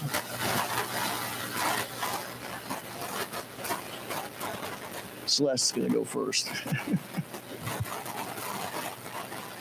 Uh, well, we're, we're not commercial and we're not a cattle operation, but I think that um, economically speaking, there's some things that you can do that won't cost you as much money just, you know, by either whether it's decreasing your hunting time or decreasing the birds you kill or, or like I said, trying to up that habitat um, and maybe decreasing your cattle or um, vice versa. You, you may have to make a little bit of sacrifice, but um, it doesn't ultimately cost you that much, in my opinion. Many of the costs for us, you know, especially on the pitchfork, have been spreading grain. Things, things such as that, or uh, using guided services that we used for 20 years. Um, it probably ate into the profits about 60% of the gross, I would say, something like that. Um, we've, uh, and then of course we always try to establish a land use against that, you know, and of course we have motor graders, we try to keep our roads bladed, et cetera. But what we've done since then, uh, we've changed over to a different uh, way of leasing. We lease all of our country, mainly quail is on the back burner now um, mainly just, just to preserve the quail. We may lease some in my country in Circle Bar Ranch. We lease the deer, everything except quail. And if there's quail there, and if I think they can shoot quail, I'll let them shoot quail. But I'll leave it in my in my neck of the woods. I don't want them shooting birds out there unless I think there's enough to shoot. So our main focus is on the deer, hogs, and the other honey. And so that's how we sort of control our costs and sort of wait on the quail to come back. You know, I talked about Evelyn Browning Garriss earlier and what I wanted to finish up with that about. I believe we're in a dry period. And so I think we're going to be very careful through this dry period. Some of us, like me, may not live long enough to see the other end of it. I don't know, but um, according to her, it, it should end maybe the next 10 years, I hope. But uh, um, just just control the costs. Our other costs, we try to uh, uh, put it in the hunting contract. So about 80 or 90 percent of our gross is profit is from our standpoint of hunting. Anybody else? Yeah, I'll add. Uh, I know working with our cattle operators, really me spending the time and effort to explain to them all the stuff that we're doing to manage for these birds and to have a healthier pasture and better habitat also translate to healthier cattle, healthier calves, higher weaning weights, and more productive pasture you know, on that topic of, of you know, communicating objectives from landowners or managers to people that may lease those properties? Are there specific strategies that anybody would use that you effectively communicate with those people so that everybody is on the same page? You know, I want to add one thing too that, that we've done that it's sort of an indirect cost. Um, we personally, in the last 20 years, put probably 15,000 acres of cropland back to, back to grass and taking it out of production. And it took me about 20, 20 years to convince pitchforks to do that. They don't own a, not an acre of cropland today. They've, they put everything they have back to grass. And I have a, just from my mistakes that I made over the years, there's a line sort of in Knox County there, pretty much due north of here. Going west, I just don't believe it's very profitable farm unless it's irrigated farming. And so uh, we get we've seen less gross income, but a little higher profit. And so to me, that's helped help quail just that alone.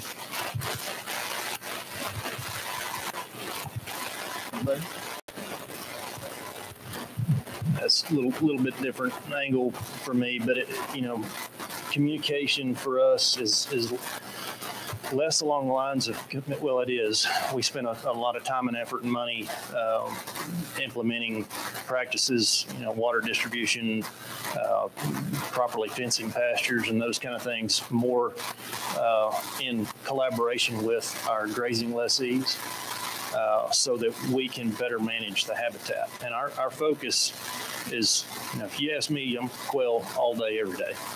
Uh, but it's it's also other grassland birds. A lot of the things that we've heard other speakers talk about this morning. Uh, but in our case, um, you know, when managing our, our company on surface and trying to take care of our property, it's communication with contractors, vendors that are working for other oil and gas producers. Um, and that can be a there can be a, a, big miss there. All they know is they're out there to, to lay a line or, or whatever it may be. Uh, so what we try to instill in them is, hey, let's you know work with us. Let's be thoughtful about um, you know please don't lay that flow line over the top of a pack rat midden that also happens to have a quail nest in it. That's actually happened before. Um, so just trying to uh, educate others uh, of what we're trying to do uh, so that, you know, some of the practices that we put into place aren't undone. One last chance from the audience before we, you know, thank these folks again and, and move on to the next panel. Okay, appreciate you guys' participation. Thank you very much.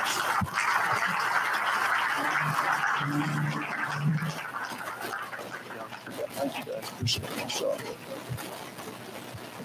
So if the next group of uh, panelists would like to make their way up here, um, this next group is is titled. Um, let me find it in my program. NGOs in Texas. So we have a habit of throwing out uh, acronyms all the time. So if you're not familiar with that, an NGO is a non-governmental organization, and so we have a group of folks here that are going to visit with us about how we can work together more effectively and really, you know, effective resource management, regardless of the species, uh, occurs behind some landowners' gate.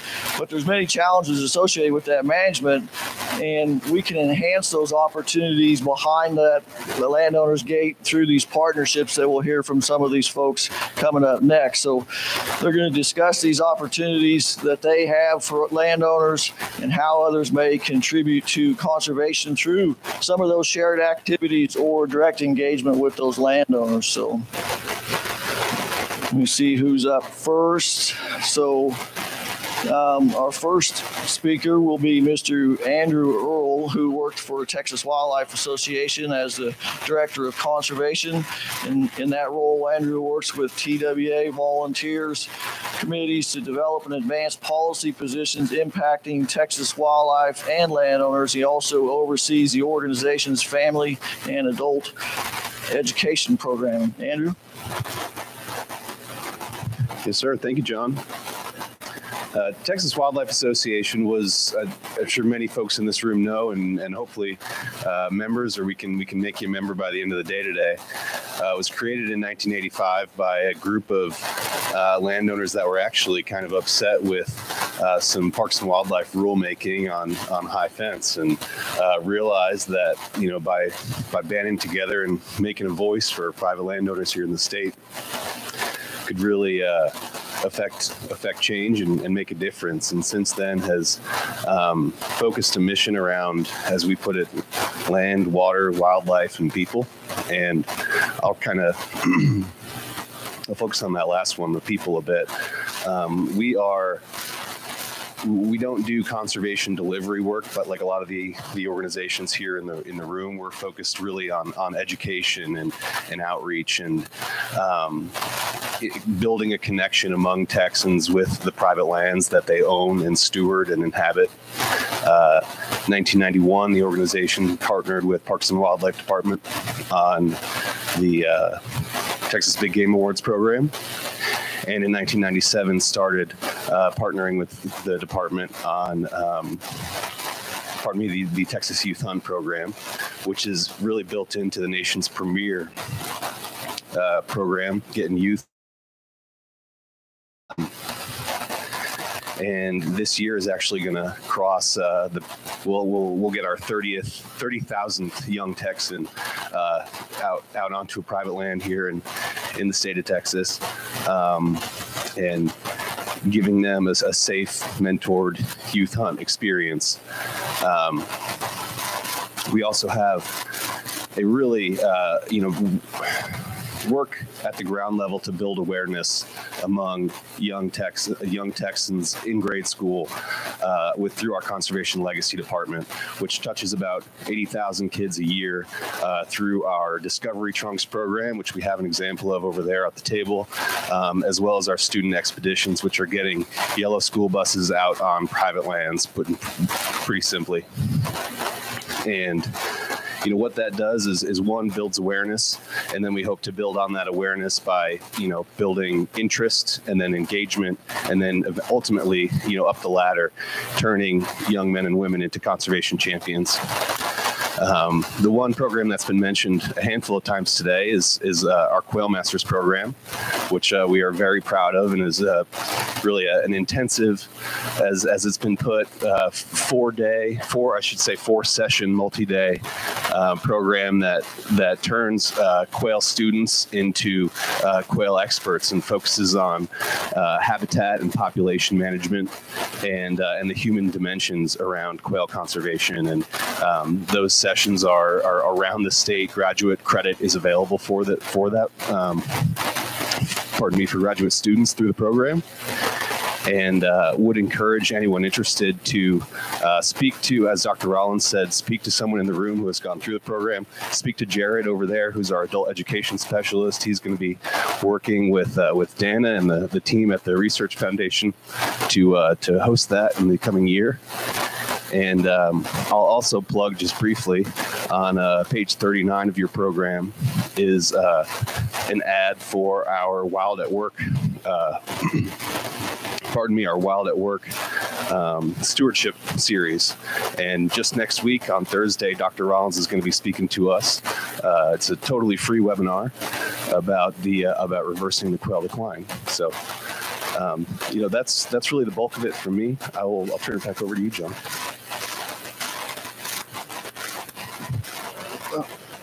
That cord's going to get me yet. I think. Okay, thank you, Andrew. So our next uh, guest speaker is Miss Anita Hoskins, and Anita works to administer Audubon's conservation ranching program in Texas and surrounding areas, providing assistance for land managers interested in all areas of conservation.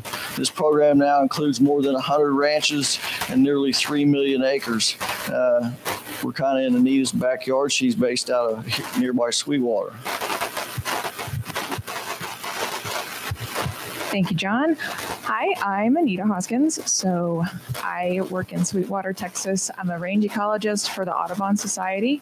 Um, and I'd like to echo Jerry Bob here with I am a rancher first. So don't throw anything at me. But I grew up on a commercial cattle ranch out in Van Horn, Texas. And nowadays I found myself here. What does that have to do with bobwhite quail? Well, let's ask a question of the audience maybe here. Um, who here buys beef? Okay, so quite a few people. A lot of people buy beef. Um, has, who here would be concerned with where their beef grew up or how it was raised? Or maybe the land it was raised on? Okay, what does that have to do with Audubon? Let's actually see who's heard of the National Audubon Society. Okay, so that's a good amount of people. What do a bunch of cargo khaki wearing pants want with our beef and our ranches? And what do they want with bobwhite quail? Well, Audubon recognizes that our ranchers and our landowners are the last thing standing between this great grassland bird decline and a complete loss. With that importance in mind, we've developed the Audubon Conservation Ranching Program. It serves to offer as a market-based program, expanding opportunities for cattle producers to sell their beef in the United States with a special seal. And this seal can be found on page 28 of y'all's programs. It's just like anything that would go on your beef, like an organic seal, but it expands our market and it tells the producer that Your beef has been grown on sustainable lands and it's been grown with birds, especially bobwhite quail, in mind.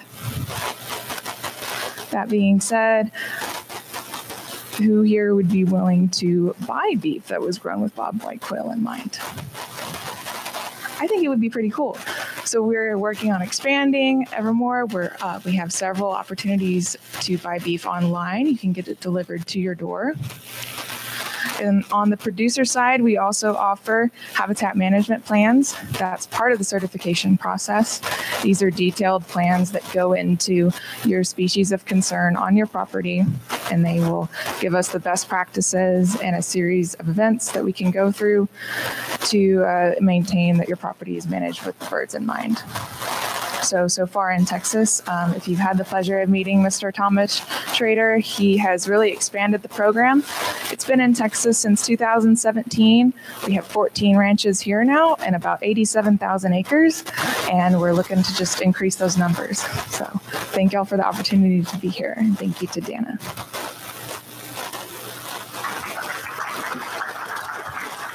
All right, very interesting program. So we have a little schedule change. Um, a new guest speaker, Dustin McNabb, was is in your schedule. He was supposed to be here, but uh, had the little health challenge. So we have a very capable stand-in, Mr. Kyle Lesson, with uh, with the Quail Forever and Pheasants Forever. Um, for those of you that went to uh, Mulligan's last night and had a couple beverages, you know, from the local chapter, you know, that's all intertwined and part of that process, and so a lot of fun to work with. But uh, if you're not readily familiar with Quail Forever and Pheasants Forever, it's really a national uh, grassroots uh, habitat conservation effort obviously directed at quail and pheasants across the country. But beyond that habitat, they also advocate for public access and conservation education. Uh, both of these activities, you know, very influential, uh, impacting over 300,000 acres here in Texas. Um, certainly a great partner for landowners and certainly a great partner for Texas Parks and Wildlife. So I'll turn it over to, to, to Kyle. Thanks, John. Um, yeah, very excited to be here. I am a huge quail nerd and um, was not expecting to get up here to talk, so I'm not really sure how this is going to go. But uh, bottom line, Pheasants Forever uh, started with a group of pheasant hunters up in the Minnesota area who wanted to do something about the declining populations of pheasants. So they started Pheasants Forever in about 1982, and um, and from there the organization has grown prolifically in the, the Midwest and has expanded in 2005, where we started making reaches into the southern uh, portion of the states in quail world and started Quail Forever uh, in 2005. Uh, like John mentioned, we were a grassroots model, so uh, our chapters uh, get to decide what to do with 100% uh, of their profits within their communities, whether it's habitat work, education, outreach, advocacy. Um, so that's something that um, continues to this day throughout all of our chapters. I think we're around about 754 chapters um, nationwide, and um, we are uh, really excited to see what we can do as we're growing here, specifically in the state of Texas, um, to help the uh, the, the quail uh, world and and ultimately make more birds here in Texas. Um, so, thank you. All right, guys like Kyle will get on schedule pretty quick. Um, so this last gentleman uh, probably needs no introduction. Um, if you haven't been paying attention yesterday, today, haven't been engaged in the you know quail business, uh, you know, Park Cities Quail Coalition, Jay Stein, you know, have been such a uh, great partner.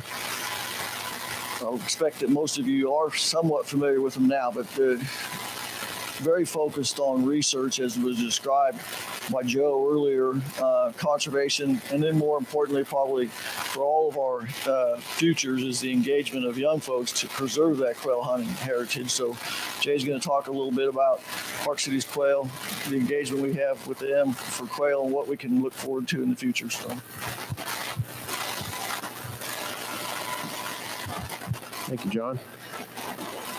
I got lucky that Joe kind of set the stage for me with a little bit of a history, but Uh, as you know, Quail Coalition uh, started as Quail Unlimited back in the day, and to be quite honest, we just got tired of uh, sending most of that money out of state and started Park Cities Quail Coalition, and then the other chapters in Texas that were Quail Unlimited chapters joined, and that's how we formed Quail Coalition. Uh, it's been a great history, as Joe mentioned. Uh, just over 18 years, we've raised 30 million dollars. Uh, that's put a lot of the uh, quail researchers in here, uh, hopefully on good footing, and you know, uh, funded tons of quail research. Uh, as Dale will mention, the Rolling Plains Quail Research Ranch. Uh, Park Cities Quail funds, funds their annual operating budget each year, and then several of the other chapters uh, pitch in to help buy equipment and bridge the gap to get things done.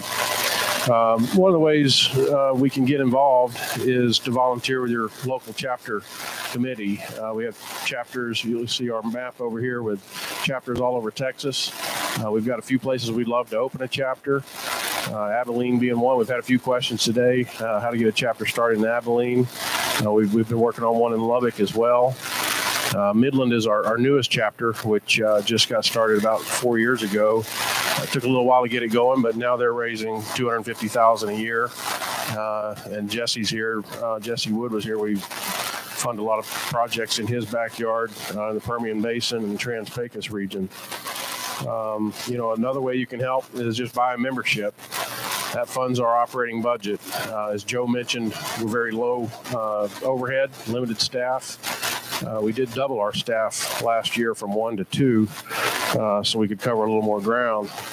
Uh, but we really try to focus on just putting all the money back uh, on the ground for quail habitat and research. Um, we've got a, lo- tons of great research projects. The medicated feed is a, a fascinating development that we hope uh, really makes an impact, and we'll be testing that more in the next few years.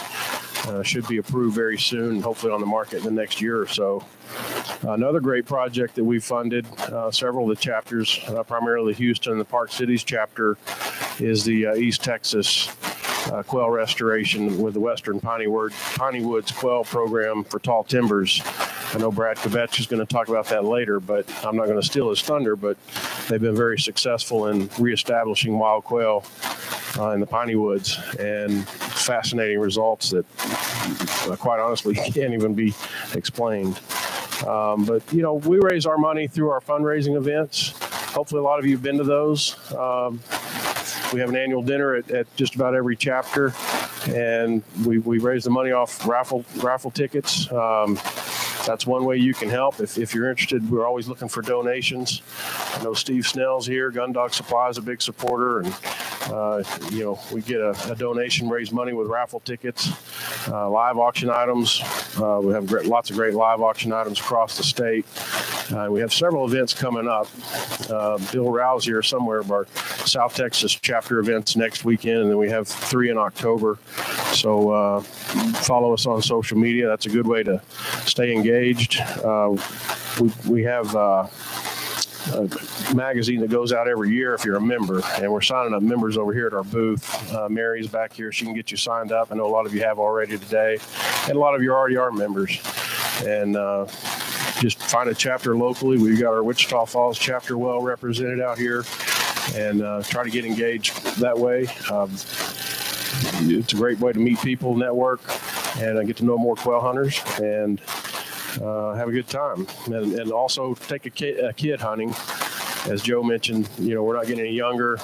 The next uh, generation is going to be our future. So um, the more kids we can get hunting, keep this thing going. Uh, we need quail hunters, and the quail need quail hunters. So uh, that's really all I have. Uh, you can follow us on our social media. We've got both Park Cities Quail and Quail Coalition Facebook and uh, Instagram pages, and that kind of keeps you engaged. We've got snake clinics, dog training clinics, um, keeps you up to date on all our annual dinners.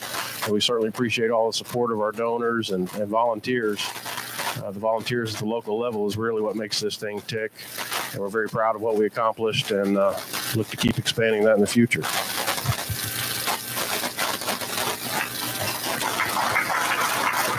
Thank you, Jay. So uh, Jay must have got a copy of the questions that I had because he ticked through most of those things I was going to ask. But I'll, I'll throw it back to you folks in the crowd if you have uh, questions for any of these folks about uh, how you can better engage or maybe how they can collaborate better with you or your group.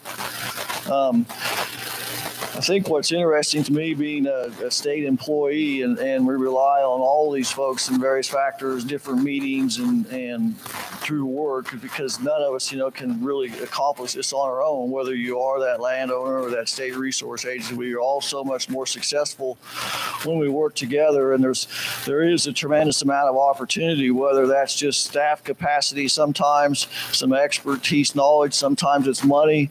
You know, I know on our side, you know, we'll fund positions with some of these entities, and sometimes they'll help us fund positions. So there's there's a tremendous amount of back and forth, and and really the, the message that I received from these folks is is a couple things. You know, uh, opportunity, awareness, and education. And uh, Jay was promoting several opportunities they had, you know, across the state to uh, to talk about educating people and getting them engaged. Do any of the other group have other um, educational opportunities coming up or how to engage with the public, hunters or non-hunters, or that you want to share with the group? Or well, I would I would echo what's been said. And you know, keep keeping an eye on uh, on our website and on our calendar. We constantly have have landowner workshops and field workshops uh, up, and are currently have a series focused on on small acreage and um, be, new and beginning landowners, which I think is a, is a great place um, as we're we're looking at the land trends across the state and, and where things are headed.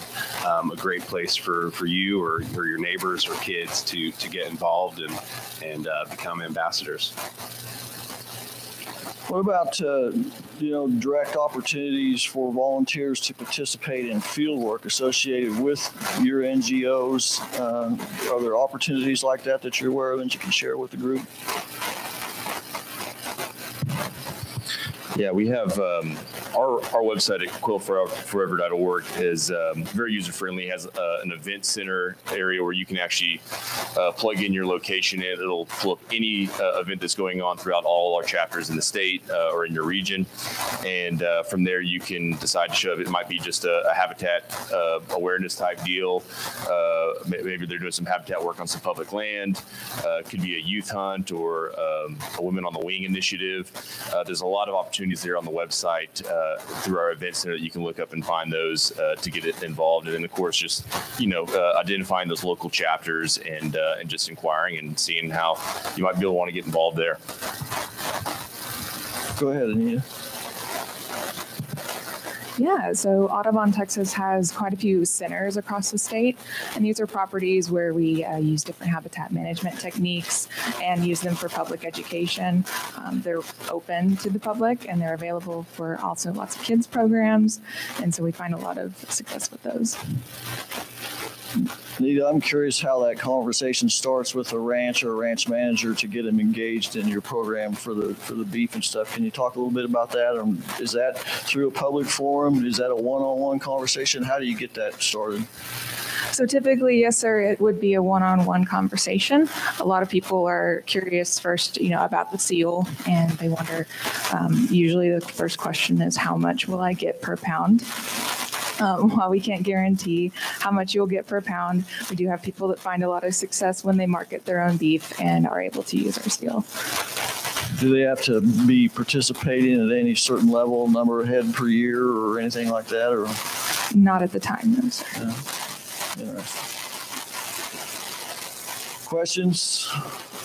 I'll get us a little bit ahead to the break, maybe. I don't know whether we can quit early or looking for some guidance from somebody, but uh, she says she's ready for the break. So in the back. Okay, Five till three. Be back in your seats if you want to get lucky and win. So, thanks everybody. Thank the speakers too.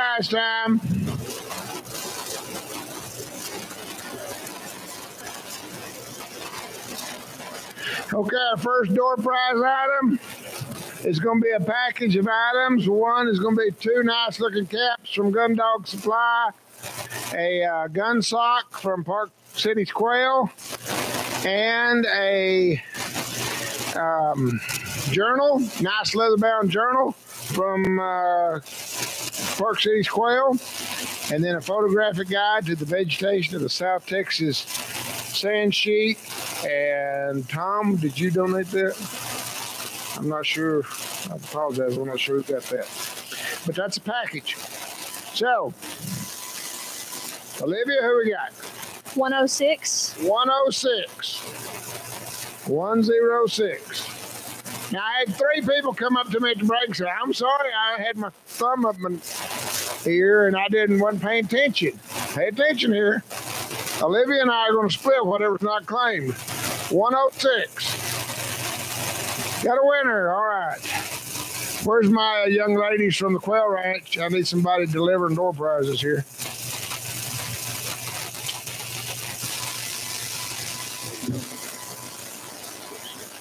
Thank you.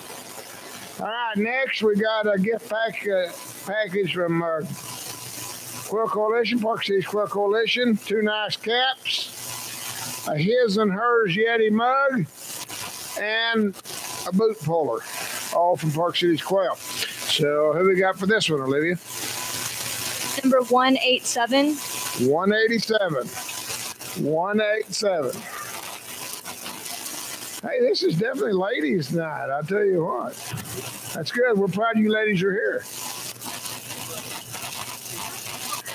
Which we trust you. Nobody else claimed it, so we'll trust you. Yeah, that's all, that's all yours. Every bit of it. Okay, next we have a uh, a nice uh, cooler bag from Capital Farm Credit, and it looks to be about probably 15 pounds worth of uh, native grass seed, I believe. Let me see what that is. Yeah, that's native grass seed uh, from Turner Seed Company, our good friends over there in Breckenridge. So, pretty good uh, little chunk of change on that. Who's the winner here, Olivia?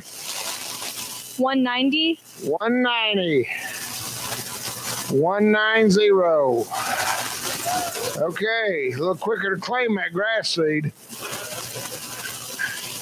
And then our last door prize is uh, again two two nice caps uh, package, two nice caps from Gun Dog Supply, a GPS unit for your dog uh, donated by Big Country Veterinary.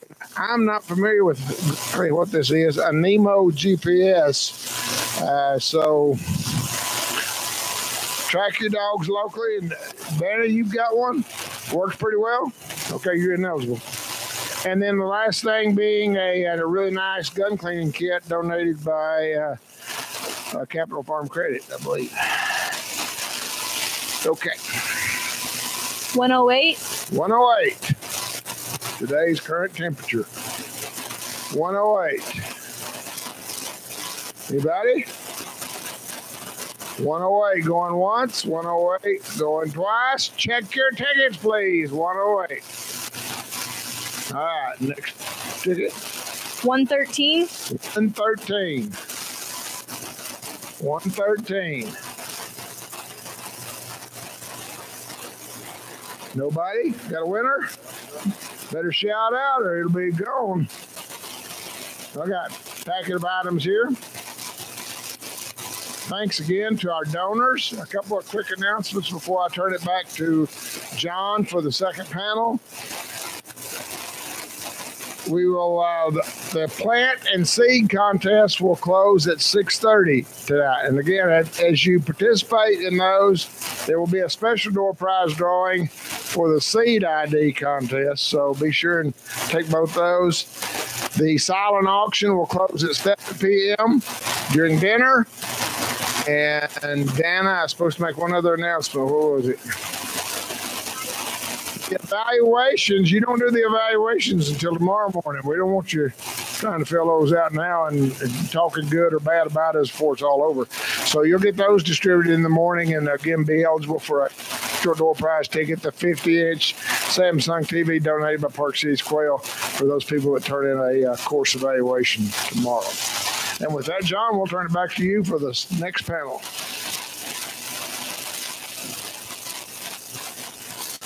Thank you, Dale. If uh, the next group of panelists can uh, start heading this way, I'd appreciate that. Um, we have four more distinguished guests that are going to share some thoughts with you. This next panel discussion is going to is titled "Quail Habitat Program and Services for the Landowner and Manager." And when I contemplate what that title may mean, to me, that's conservation delivery, which is what much of this conversation has been about. Um, and another way to look at that is, is how can we or how can they help you uh, manage your property for better quail habitat? We know we can't make it rain, but many of these folks here today uh, can help you put the other pieces of those puzzle together and uh, hopefully uh, enhance the opportunities for for quail on your property. So. Um, I must have another schedule change. Because I have a Megan Armstrong. Yeah. That's not you. So you're filling in. Do you want to introduce yourself? Yeah, I'll just turn it right over to you. I'm going to assume you're from the NRCS, much like Megan was, and uh, going to visit with us about uh, Texas Grazing Lands Coalition and, and what's going on, maybe. I do apologize for the sudden uh, tag in there. Uh, Megan, another, another, she's under the weather, and uh, so I, I'm going to try to step in here. Uh, but the Texas Grazing Land Coalition, I'll just put in a, a brief plug about that in terms of um, how we fit into this quail, uh, the end of the picture here. Uh, the Grazing Land, Texas Grazing Lands Coalition. It's a state chapter of a national chapter. It's a national organization. It's a nonprofit organization, and uh, it was kind of started uh, as a means to maintain a local hub of information, connect these ranchers. Um, connect the ranchers that are doing a good job with ones that would like to do better, possibly, and um, and uh, the NRCS kind of took this concept and um, went with it, and they hired uh, in Texas at least. Texas is the only state that does this. They hired regional grazing specialists. Uh, Megan was one. I am. Uh, I'm another one based out of Snyder. Uh, there's 11 coalitions in the state, so. Um, wherever your operation is in the state, there's probably a coalition that, that covers it. Now, um, as the name implies, Grazing Lands Coalition, the specialists in the areas, we're going to focus mainly on the livestock management aspect of it. Uh, Mr. Daniels said a while ago that, uh, you know, cattle and quail can complement one another. And that's 100% true. And where do we fit into the, the partnerships and the, the foundational habitat side of it is that um, your regional coalitions, your local ranchers that are part of those coalitions, your local grazing specialists, uh, we're a, a source of assistance, uh, technical assistance, ideas, brainstorming, uh, whatever. Um, we're talking about a livestock operation that wants to integrate some wildlife, wants to better their uh, quail habitat. That's completely 100% doable, but it you know it needs to be well thought out. needs to have some information behind it, and it, it uh, you know it's a process. So uh, your local grazing specialists are a source for that. Um, uh, my name is Matthew Kaufman. I'm out of the Snyder office, um, and like I said, there's uh, 10 specialists around the state. So look us up, and uh, we're there to help. So thank y'all. Thank you, Matthew, for filling in so capably. Um, everybody likes surprises every once in a while. Um, Our next speaker I'm a little bit more familiar with. Um, You've been around business for a while, and his name is uh, Manuel De Leon, and he's spent 11 years previously working for the Fish and Wildlife Service before he went to the Natural Resource Conservation Service, or NRCS as we so commonly refer it to. Um, he was a district conservationist in Muleshoe, and then went on to be a resource team leader overseeing three field offices. In 2009, he became the Zone 1 wildlife biologist in Lubbock, uh, covering 51 counties there in the Panhandle and South Plains. And just recently, this past April, he became the state wildlife biologist in, uh, for Texas. And again, uh, as an agency, we're very excited that you're in that role, and we look forward to the successes we'll have together. So, Manuel, I'll turn it over to you. Thank you for the introduction. Again, Manuel De Leon. Just want to add real quick to what Matt was talking about. Matt has one of the sweetest jobs with NRCS. He doesn't have to deal with uh, our programs, our assessment tools, or any of that. So uh, he's got the fun job. He gets to go out and, and work with y'all and develop those plans that eventually will roll into these uh, financial assistance programs that I'll talk about. Uh, as you all know, we have the alphabet uh, of uh, the alphabet soup of programs. I'll try to explain them all, and hopefully, if we have time for questions, be glad to try to answer as best I can. Our first program is the Environmental Quality Incentives Program. Of course, it's our flagship program that helps, uh, you know, helps you, the land stewards, uh, to protect the resources, to manage for wildlife, uh, and it's uh, it's been around since the 90s, and it's a very popular program. And of course, you know, recently with the uh, bipartisan infrastructure law and the uh, Inflation Reduction Act, there's going to be some additional influx of funds coming into that. Uh, we're hiring people, uh, so we do appreciate y'all working with our, our younger folks. You know, we all had to start somewhere, so, you know, please bear with us and have patience uh, with us as we do, you know, work to, to develop our employees to, to better serve you. But our environmental quality incentives program uh, last year, I don't have any acreage on figures, uh, but last year we had a little over uh, $86 million that was uh, allocated in the state of Texas. And of course, that includes anything from irrigation practices to brush management to fence and water development for livestock management.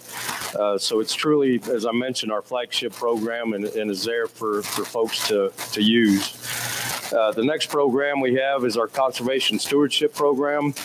Basically, a program that helps build on your existing uh, conservation efforts. In this program, we, we do use our conservation practices, but there's also some additional enhancements uh, that can be done on your operation. Uh, again, it stems from, from cropland uh, to rangeland to wildlife uh, habitat land. Uh, last year, we did a little north of $10 million on the conservation stewardship program. We also have the Conservation Stewardship Grassland Conservation Initiative. Uh, it's basically a program that helps uh, keep working lands working lands. It provides, I believe last year was $15 an acre uh, for grazing operations. There has to be a minimal amount of brush. You know, it's something determined locally. It's, it was mentioned earlier by John uh, about our our uh, loss of grassland habitats, and so you know, trying to maintain those habitats and or improve those habitats uh, to keep them in grasslands. Uh, in FY22, did about a little over a million dollars in the Grassland Conservation Initiative. Uh, another program we have is the Regional Conservation Partnership Program. Uh, it's one that I'm not extremely familiar with, but we'll get up to speed soon uh, in my new role. Uh, but currently, we have uh, a National Fish and Wildlife Foundation PECOS partnership. Uh, we have the Hill Country Headwaters Conservation Initiative with the Hill Country Conservancy. Uh, we have a Restoring Perennial Flow in Comanche Springs with the Texas Water Trade. Uh, we have the Texas Coastal Prairie Initiative with the Coastal Prairie Conservancy. And then we have the Greater Big Bend Conservation Partnership with Sul Ross State University. And this is a way to leverage funds uh, within our CS funds, plus what the partnership brings uh, to the table. And, and in this particular instance, it can include in kind, uh, so it doesn't necessarily have to be monetary. Uh, on the easement side, we do have an easement program. Uh, we, it's pretty tough uh, when the land values uh, are pretty high for us to compete with that, but it is an opportunity uh, for folks that are interested. We have an ag land easement program, and then we also have a wetland reserve easement program. Uh, just a few figures here. Uh, total right now in the state of Texas, there's a little over 2,000 uh, acres of what we call agricultural conservation easement program, wetland reserve easement. Again, a mouthful and an alphabet soup. Uh, we have about 22,000 acres of grassland program. Again, these are easements. These can be uh, 30 years or in perpetuity. Uh, it's your choice. And then our WRP, which was the initial program for the wetlands, we have uh, about 95,000 acres uh, that are in the wetland reserve program. We also have initiatives um, that we, we leverage some of these EQIP, EQIP dollars that basically comes from the Environmental Quality Incentives Program. We have the Lesser Prairie Chicken Initiative uh, that targets habitats up uh, in the north. We have the Longleaf Pine Initiative. And then we have the Working Lands for Wildlife, which the Lesser Prairie Chicken Initiative is a part of. But we also have the Great Plains Biome, uh, folks, it's basically running from North Dakota, Montana, down here to Texas. Uh, and again, trying to restore some of these grasslands by treating some of that brush. And then, as John mentioned, we have the Northern Bobwhite Grassland Savannas. So we have a, a program specifically for bobwhites. And of course, we have some additional initiatives like for Monarch. Uh, we have some water quality initiatives, but in particular for, for this group, um, you know, for example, the, the northern bobwhite and grassland savannas would be uh, applicable or appropriate. And I want to speak for our sister agency, the Farm Service Agency. Uh, they do have the Conservation Reserve Program. Uh, of course, that's a general sign up uh, to retire those lands, to put them in 10, 15 year contracts. Uh, definitely one of the best programs that's going for conservation a lot of opportunity and uh, you know work that can be done on those properties to to better manage or enhance for wildlife. And then they also have the uh, continuous conservation program, which is, as the name implies, is continuous. You can sign up at any time. Uh, it's non-competitive, and uh, it, it, depends on what you're looking. There's riparian uh, buffers, herbaceous cover, uh, there's uh, well uh, well buffers. There's there's a variety of practices that FSA uh, can offer. And just recently, working with Texas Parks and Wildlife Department, we have the State Acres for Wildlife Enhancement, the Prairie Safe, uh, which covers a bigger area up in the Panhandle and, and South Plains. and with that, I'll turn it over back to you. Thank y'all. Thank you, Manuel. So switching back a little bit to the uh, NGO side of our our uh, partnerships, uh, Mr. Thomas Yankee Yankee has uh, served as the inaugural Texas State Coordinator for Pheasants Forever and Quail Forever over the past year. Prior to that role, Thomas was their uh, prescribed fire coordinator uh, through his current efforts, he has a growing team of biologists that are privileged and excited to be able to work with and learn from numerous landowners and managers and conservation partners across the state on both private and public lands in many capacities concerning upland habitat management. Thomas? Thank you, John. Good seeing you. Well, thank you all for allowing me and Derek, Manuel, and Matt to be up here visiting with y'all, and, and as John said, learning from y'all. It's a it's a blessing and a privilege to be here, and I've been been fortunate to um, to get to work for different entities and learn from a lot of folks from around the state. In the last three years, it's been with an organization called Quail Forever and Pheasants Forever. And up until I got that job as fire coordinator, I really didn't know who the heck PF or QF is or was in Texas. And at that time, Derek was working for us, and uh, there was there was five people on staff. So just in 2020, and now we're up to 14 here in Texas, and and more growth in the works right now. But um, to better state who we are and what we do, as Kyle mentioned earlier, Pheasants Forever is uh, based out of Minnesota, started in 82. Um, and just trying to figure out, you know, what can we do to conserve pheasants up in the Midwest? And in the in the 1990s, early 2000s, somebody had an epiphany saying, you know, there's a big correlation between that conservation reserve program or CRP and the amount of pheasants. And so they started realizing, hey, if we can if we can uh, fund an additional wildlife-based staff member in an NRCS office to help more landowners sign up for more CRP, we can get more pheasants on the landscape. Well, that model has not only been successful, but has grown. And now we are based in over 40 states. Um, I don't, uh, I'm not going to try to flaunt stats I don't fully know, but um, we're one of the one of the biggest um, biologist organizations in the country right now. And as of this year, we have over 500 team members across the country. And Texas is poised with a lot of growth. And, and what makes that possible, we're not the ones that are just taking the charge, leading the way. We're able to work with a lot of partners, work with all of these gentlemen up here and many of you in the audience, and figure out, hey, what needs to be done to actually get good upland habitat on the ground. And yes, we're at a quail symposium. Yes, our name is Quail Forever as well as Pheasants Forever, but we do so much more than just those two birds. And that's been a big connection for us is when visiting with the landowner, visiting with the partner, what what is that connection between healthy upland habitats? And with funding opportunities the way they are right now, with monarch money or with other things, you know, yeah, we um, we do a whole lot more than just talking about quail and pheasants. How can we have healthy healthy habitats so we can have healthy water, healthy soils, clean air, resiliency, sustainability, all the things all of us want. And our organization is able to work with others and do that.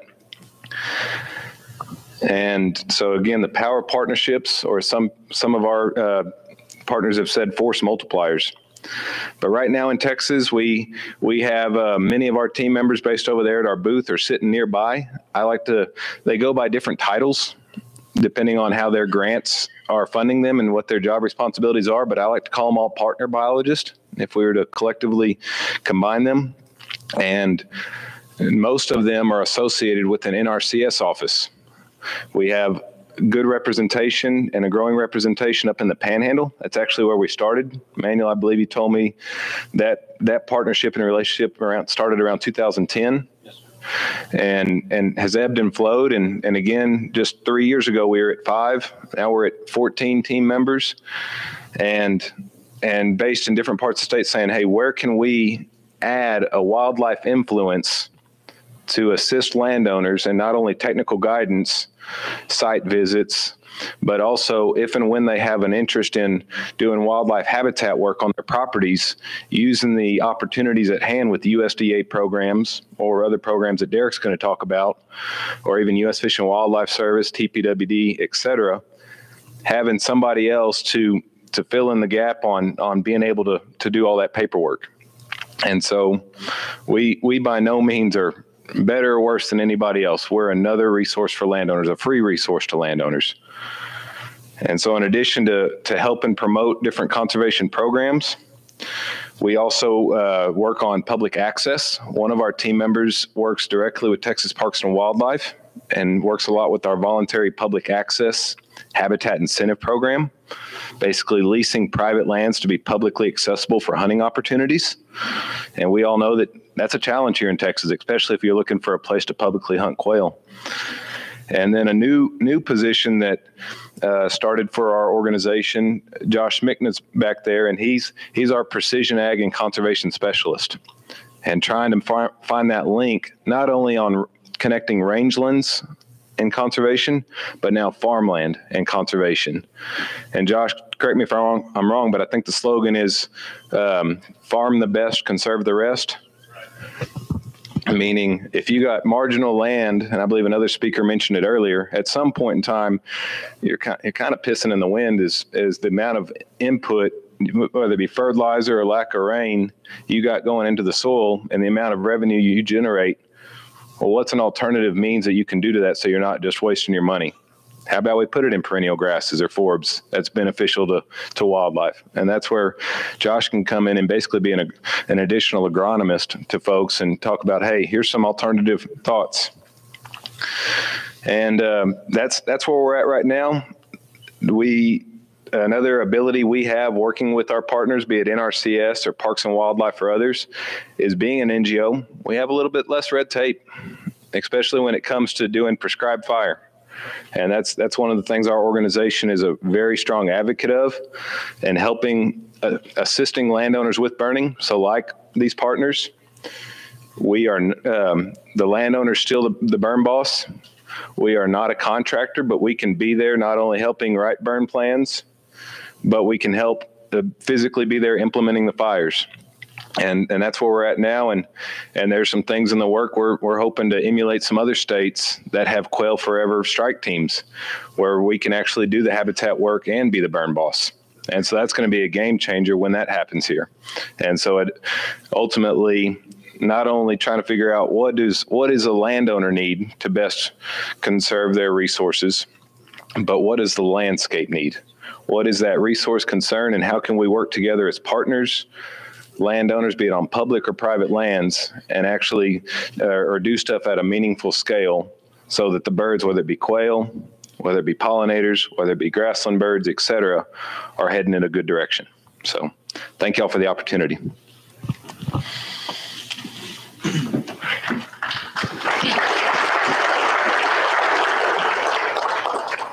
Thank you, Thomas. So uh, to wrap up these remarks on this particular panel, we have uh, Mr. Derek Wiley, who actually began his career, you know, north of here a little bit in, in the great state of Oklahoma uh, as their upland game bird biologist, but we were able to uh, convince him to come back to Texas not too long after that. And he, he started out as the coordinating wildlife biologist, as Thomas re- uh, mentioned, with Quail Forever and the Oaks and Prairie joint venture.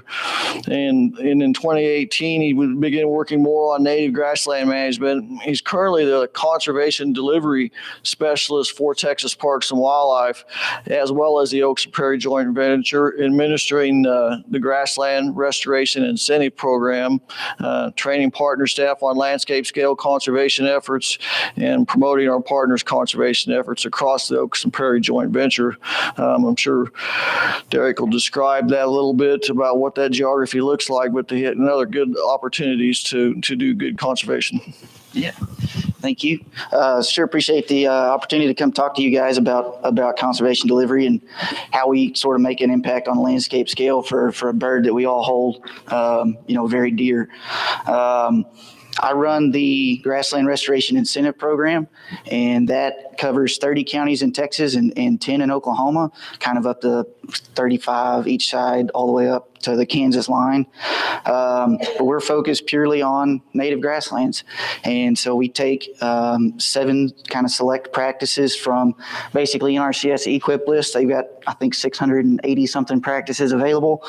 And so that's a, that's a lot. So we um, narrow that down to seven so that we're focused purely on, on grasslands, grassland restoration, grassland birds.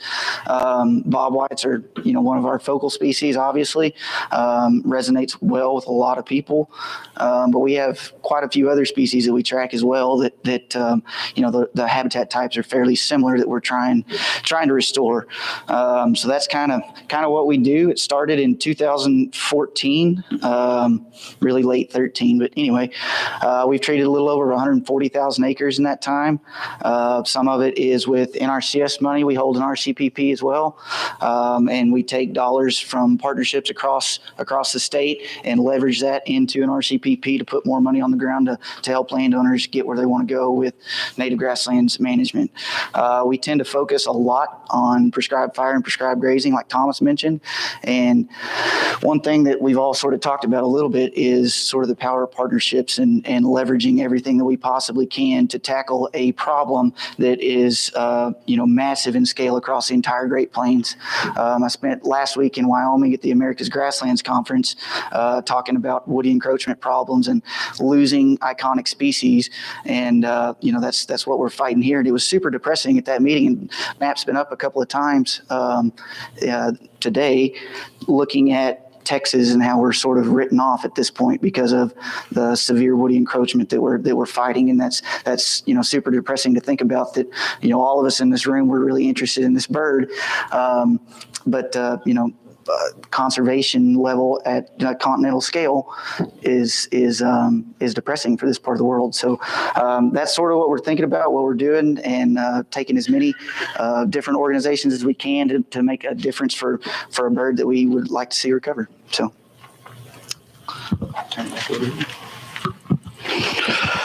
Oh, these guys are short and sweet. Make me look good on this schedule. Somebody take note of that. Maybe there's an extra door prize or something.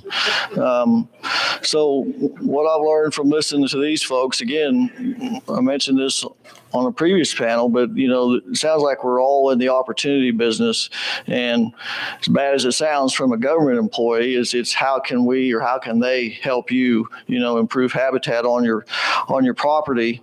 Um, some of the advantage I see with that through the number of people that Thomas has, all the great staff that the NRCS has, is you know there's a tremendous amount of technical expertise available to landowners, uh, resource managers across the state we don't go into any of those situations thinking that you know that we are the experts and this is the only thing to do. We want to provide you some ideas that maybe you know can improve uh, habitat on your property, help you better manage that, incorporate that with livestock. The other advantage that many of these folks have that, that is important to some, especially when you're trying to balance the bottom, bottom line, is they do have financial resources, access to financial resources to do those habitat projects. And I think that's important the other thing I think is is if if they don't have the answer, they will know somebody that can provide you the answer to get you the help you need. Uh, again, find those resources uh, to to get that work done. You know, lots of different opportunities they talked about from mulching to restoration, new plantings, and so on and so on. But a couple of these folks also, you know, made mention of prescribed fire, and one of the in my opinion, you know, one of, if not the best tool you can have in your toolbox doesn't come without some trepidation. You know, for from much of Texas, especially East Texas, east of I-35, we pretty much lost the fire culture in Texas. And and our agency, many of these groups, many people in this room have re, been trying to recultivate that fire culture. And and there's various opportunities to help you landowners through that apprehension. You know, even if it's just as simple as the planning. You know, coordinating with your county officials. When's the best time to do that? To again, as Thomas mentioned, we do this in our agency as well, uh, is just to, to help you implement it from start to finish, you know, on that on that burn day. So it is the best tool you have. Um, I really encourage you to take advantage of, of some of these opportunities that these folks have. And as I pull up my questions, I'll look for some questions in the crowd that we can uh, further this conversation a little bit with these folks.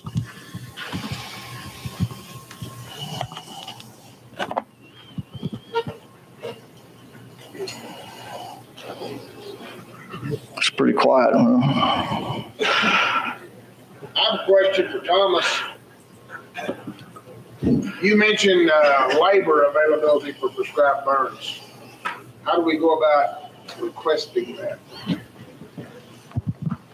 So Dr. Rollins asked that I mentioned uh, that we are able to assist landowners with prescribed burns, and and we I'm going to also mention Texas Parks and Wildlife, and there's a couple others in various parts of the state. Are are resources to landowners interested? Hey, how can how can you potentially see if we can help you out? You know, what's the method of doing that? I would say talk to your local biologist or Quail Forever team member or NRCS staff. Most of us know work work with each other.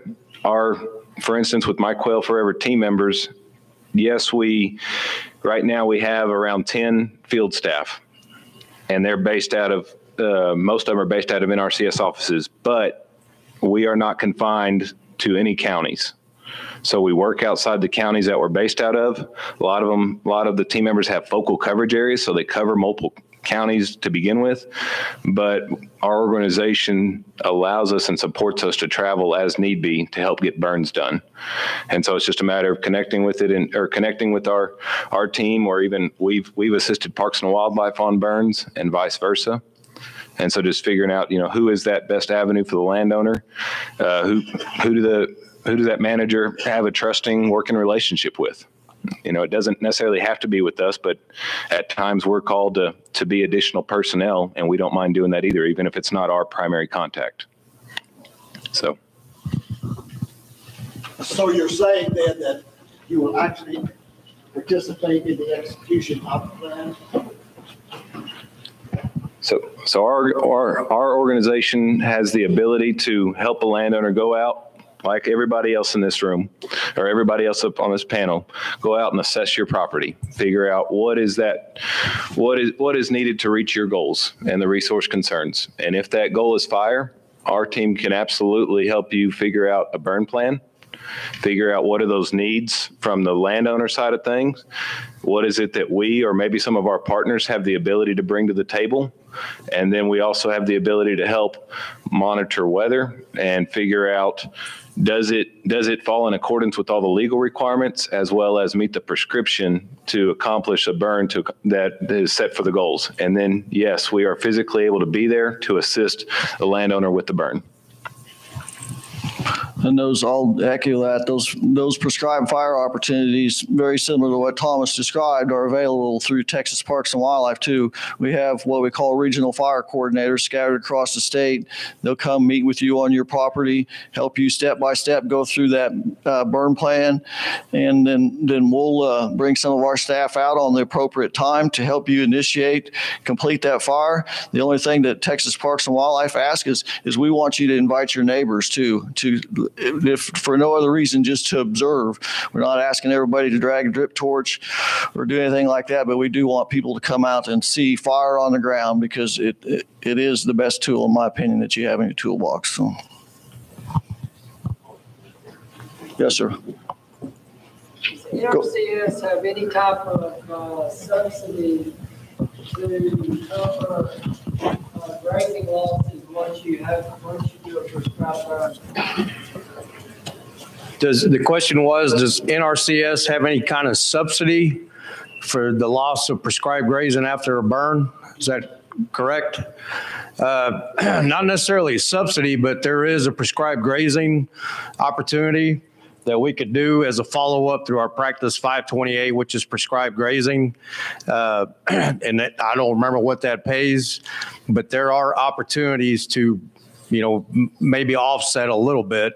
Uh, It may not be, you know, enough for you, but it's just something that we'd have to take a look at uh, and, and see how it would fit into uh, your operation and your budget. You want to add to that? Yeah, this one, yeah. Uh, Yes, sir. There, there is a per acre incentive to uh, begin a grazing management plan, which could be used to offset any losses you've got from doing a burn. But as far as a direct, you burn this many acres, and we're going to pay you this to make up for the grazing loss, no. So I'll jump in there a little bit on that too. So through our program and, and theirs as well, we can pay for the fire on a per acre basis for that. But then you can also get a, a grazing deferment payment um, if if necessary. It's three ish dollars an acre, I think, right now uh, for for a one year deferral. I just wanted to vouch for the prescribed burn. I mean, I've got small acreage in Stephens County, and I see four of the guys here that were on my burn working the ground. Derek, Thomas, Mitch, and William. It, they made it so easy. I'm a city boy with some country land. I wanted to do it, and they held our hands and let us hold the torches, my wife and I, but they were right there alongside us, calming our fears and making it happen. Well, we all, I guarantee, you, appreciate those comments because that's our goal is to make people comfortable with fire. And uh, because there are a tremendous amount of benefits to include grazing, to include wildlife. Appreciate that, Mr. Johnny. And if, since we're on the topic of fire, I think it's also worth noting that throughout Texas, there are multiple prescribed burn associations. So if you're not familiar with that, that is an idea of, of neighbor helping neighbor. It's a, it's a, I don't think we have any direct uh, land or direct representation here on this panel, but there might be some of you in the audience familiar with it. That it's a it's a group of landowners interested in burning, and instead of saying, "Hey, I have all the necessary equipment I need. I have all the ATVs, all the sprayers, all the drip torches, etc., all the staff. You know, I can do my own." Well, that's that's great in those scenarios, but that doesn't happen very often, especially the smaller the acreage you get. And so it's it's individuals coming together, um, across, whether it be an indi- a single county or multiple counties, having having meetings, and then they they work together on trainings, on helping each other out. They pool their resources. Sometimes the or, they the prescribed burn association itself has some equipment, but a lot of times it's just neighbors having a uh, an avenue to best communicate with each other, saying, "Hey."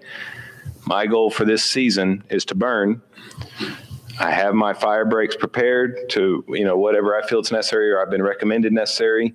And then they help each other complete the burn. So, in addition to organizations such as Quail Forever, Texas Parks and Wildlife, um, and, and even some others in the state, prescribed burn associations are a, a great resource in your area if you have them. And if you don't, consider starting some.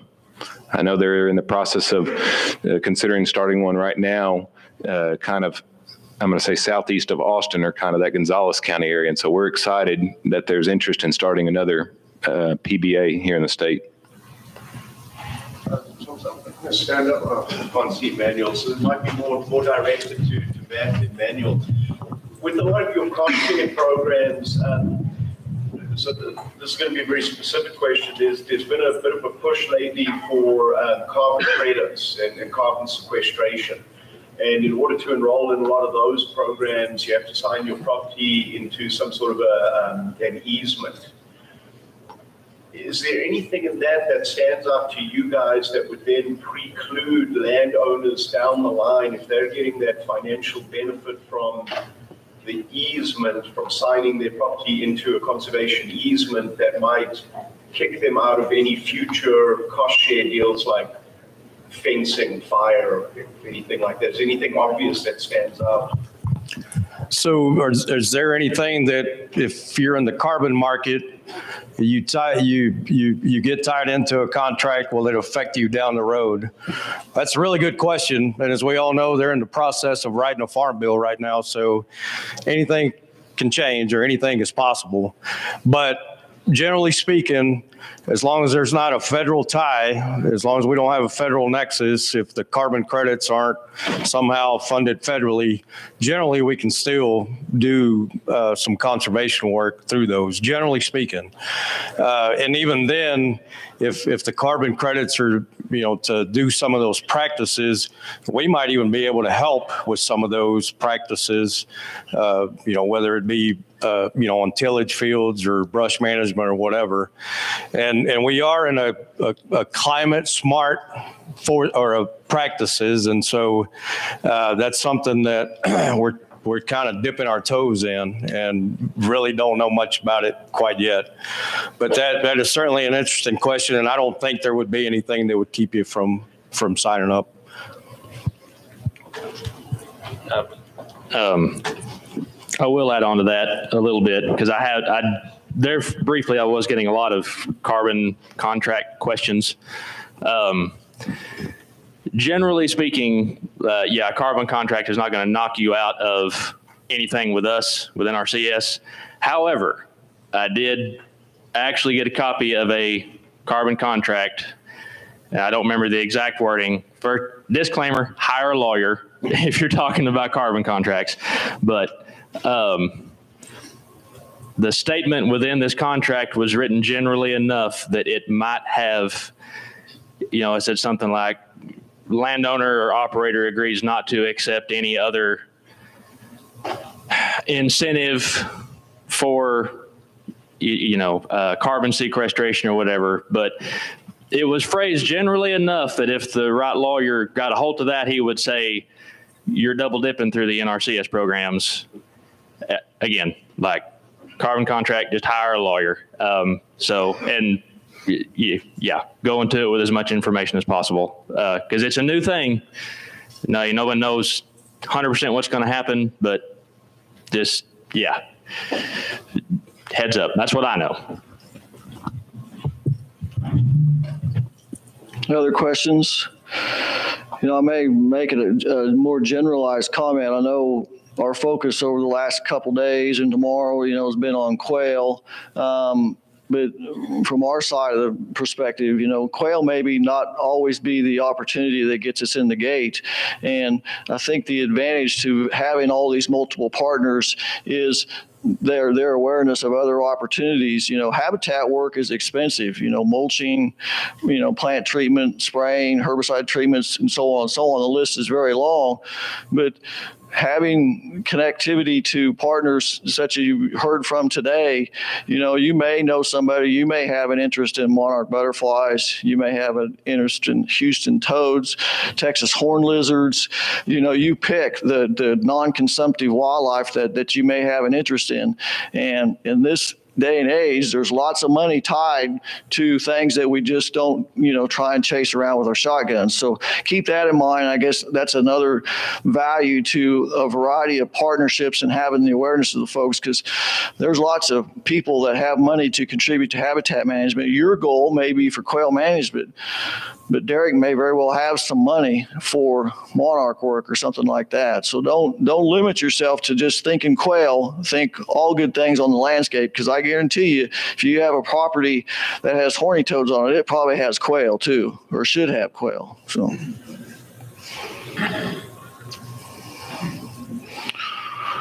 Okay, I guess I'm still ahead of schedule. So we'll uh, take a just switch gears here and and uh, get our next speaker up here and get ready to go. Thank you guys. Appreciate. Thank you speakers as well. So.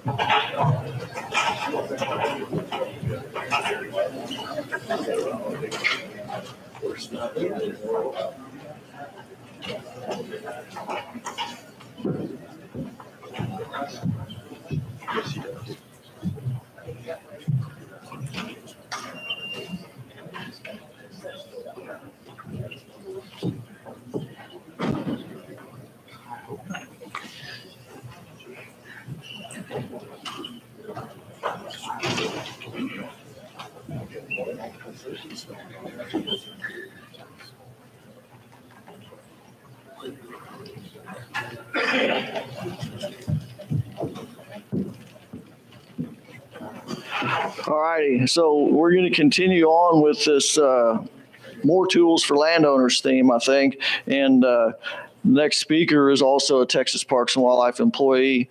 Uh, Mr. Will Newman is our Farm Bill coordinator. So we, we we're talking about all kinds of federal programs, different opportunities and stuff like that. But Will is is a great liaison for Texas Parks and Wildlife to the U.S. Department of Agriculture.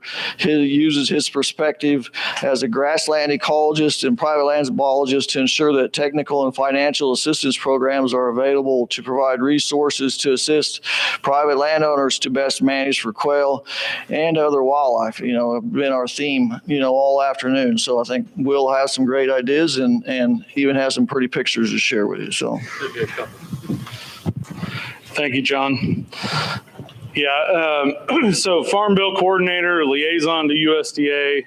Uh, those are pretty ambiguous in some ways, but uh, I'd like to point out I got a lot of friends and mentors in this room, and I come. I'm part of the quail tribe, so I'm a quail biologist first, uh, and I'm a policy person second, uh, and I carry my passion for for this group and, and the things we hold together into policy and representing the, our viewpoints and priorities in every meeting and, and discussion that we have, every policy document we put out.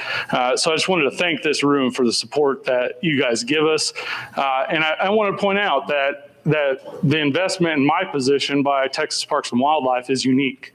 There's not a lot of states that uh, put that much priority and making sure that private landowners are empowered through these massive resources through the federal government to make sure uh, that wildlife priorities are represented there. Uh, and so it directly benefits the folks in this room. Uh, and I'm going to talk a little bit more about that as we go here. Uh, so again, bobwhite quail kind of reference frame everything that that I look at. So every time I go into a discussion, I'm thinking like a quail as much as possible, uh, and trying to figure out how I can uh, turn these resources into quail habitat to stabilize quail populations in Texas.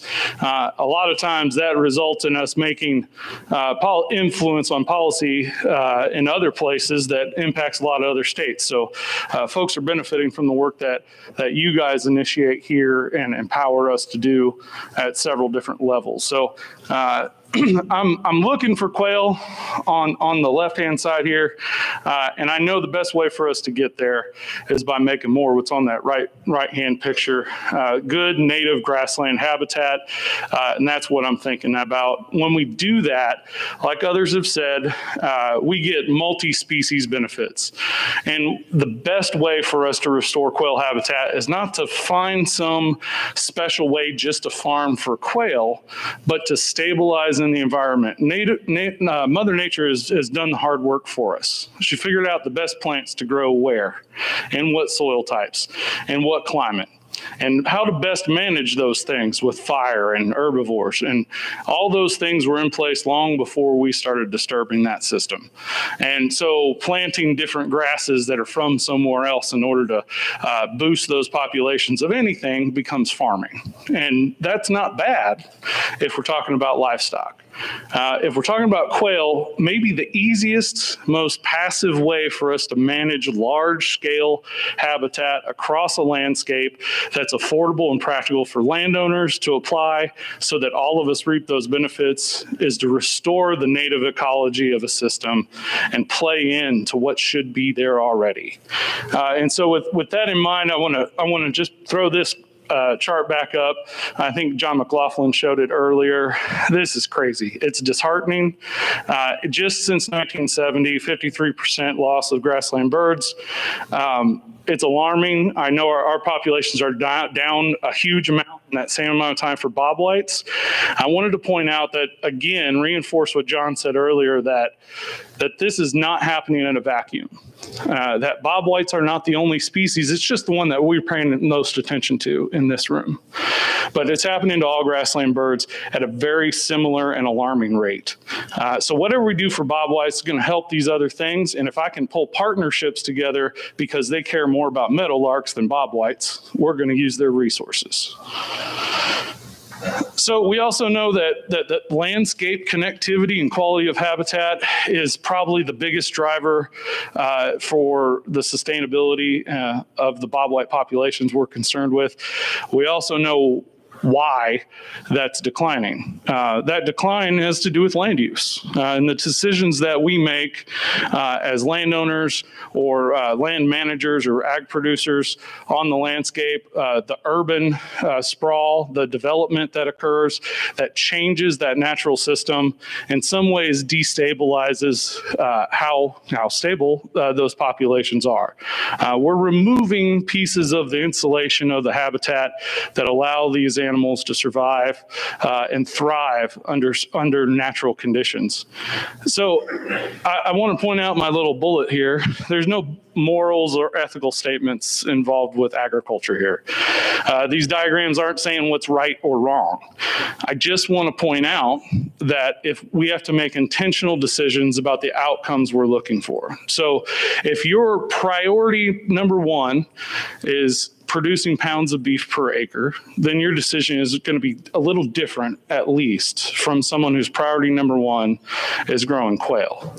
Uh, and so I would also contend that there's a broad spectrum in between those two goals where you can do both. Uh, and so you have to make intentional decisions about your priorities. So if you choose to graze one more animal, you're prioritizing maybe you know the profit that you get from that production. If you choose uh, to defer and maybe not graze as much because you want to make sure you have enough habitat for quail, uh, you know you're making that decision with your quail priority in mind. And so we have to be intentional about those decisions. And the only way we can be intentional is if we're well informed and we have access to that information and support and we have resources to help us accomplish it. Uh, there are very few landowners who uh, can do the amount of work we're talking about on a regular basis on their own. So if we break that into different land use types, uh, in rangeland, it's a little, should be a little more compatible with native wildlife habitat. Uh, native rangeland and grazing, uh, forage production on native rangeland is really uh, the harvesting of surplus plant material uh, for the production of that agricultural product or livestock. And so if we manage how much of that we take, we can make sure that we're having a positive impact and certainly not a negative impact on the quality of the wildlife habitat uh, and the species that depend on that, that same rangeland. It's a little easier to manage. It's just a management decision. Pasture and hayland, it's a little bit different. It's a more intense form of agriculture. So we're moving more to the right as you go uh, for pasture and rangeland. More intense, more inputs, more intense management, simplification of the plant community reduces your diversity of the animals and the insects and the, the plant diversity drives insect abundance and diversity and that drives bird populations including bobwhite quail so pasture and hay, we if we're making a decision to convert rangeland to hayland or pasture, we're intentionally making a decision to prioritize forage production over the the wildlife habitat that would be there other than things that will use a pasture like occasional use by deer and coyotes and skunks and raccoons, but those generalist species that get along. Uh, but more selective species like grassland birds and especially bobwhite quail, they're not going to find what they need in those in those situations.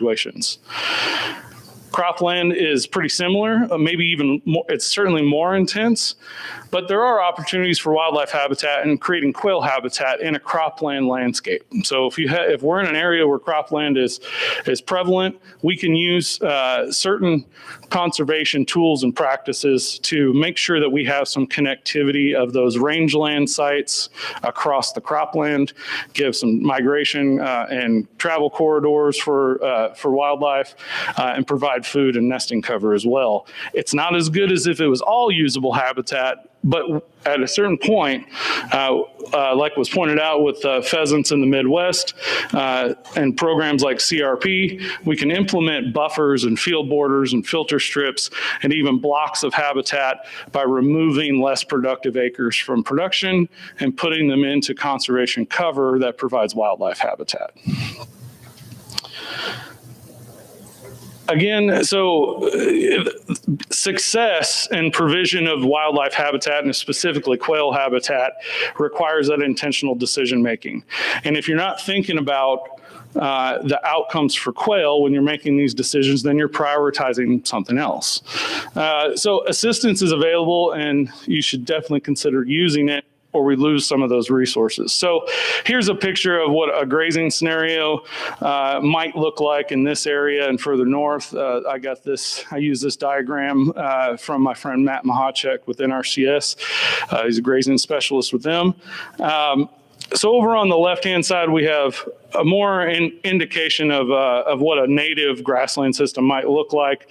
This would have been maintained with uh, regular occurrence of fire, either set uh, intentionally or otherwise, and a light and seasonally rotated through grazing impact uh, on from herbivores, originally bison, uh, and now livestock, cattle. Uh, so we can maintain that system and the high quality of that wildlife habitat and that quail habitat specifically by just tweaking and making a decision. It's a management attitude, a philosophy that you adopt, uh, a set of rules that you use to dictate your land use. It's pretty hands off typically, often, there's not a lot of upfront or continually continual costs with adopting this kind of management system.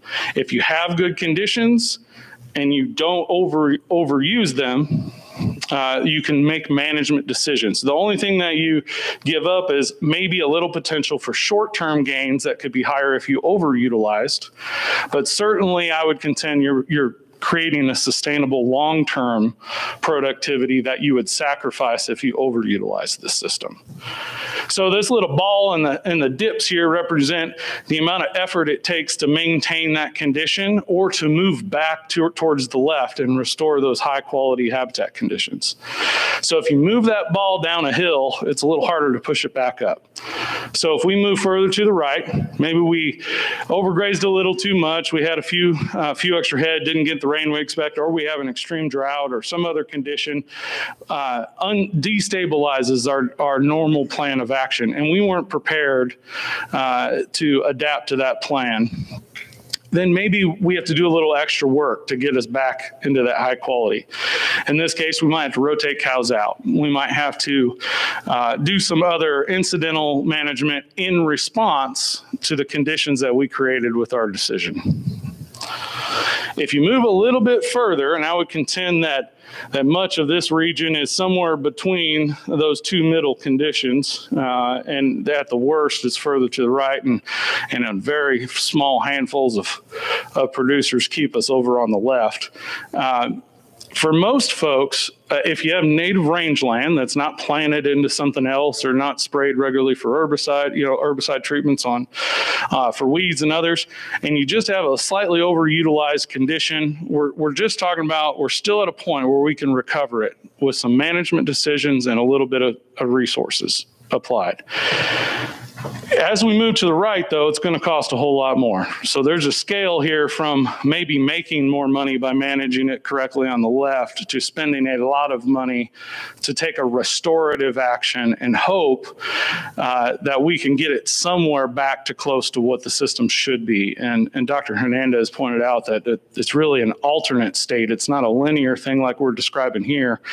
Uh, in some cases, we've completely deviated the plant com community away from what it should be and we're on a different track. And, and at that point, we have to bring it back as best we can to approximate what should be there. And that's, uh, if we get all the way to the right, that's what we're looking at.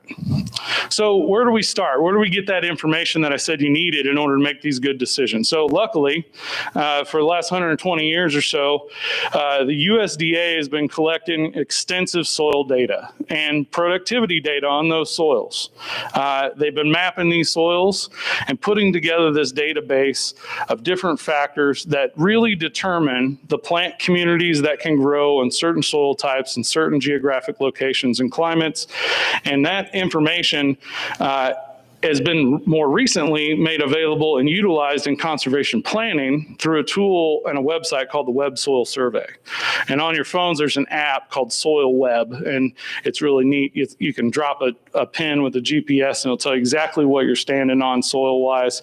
It's it's a starting point it's usually pretty correct. It's not a, it's not perfect, but it'll tell you relatively what type of soil you're standing on, what type of plants should grow there, uh, how many pounds of forage typically grow on that soil type in that location on a good year, a bad year, or somewhere in between. Uh, so all that data has continued to grow and grow, uh, and with the growth of that data, we've been able to lump certain soil types together into ecological sites or major land uh, resource areas.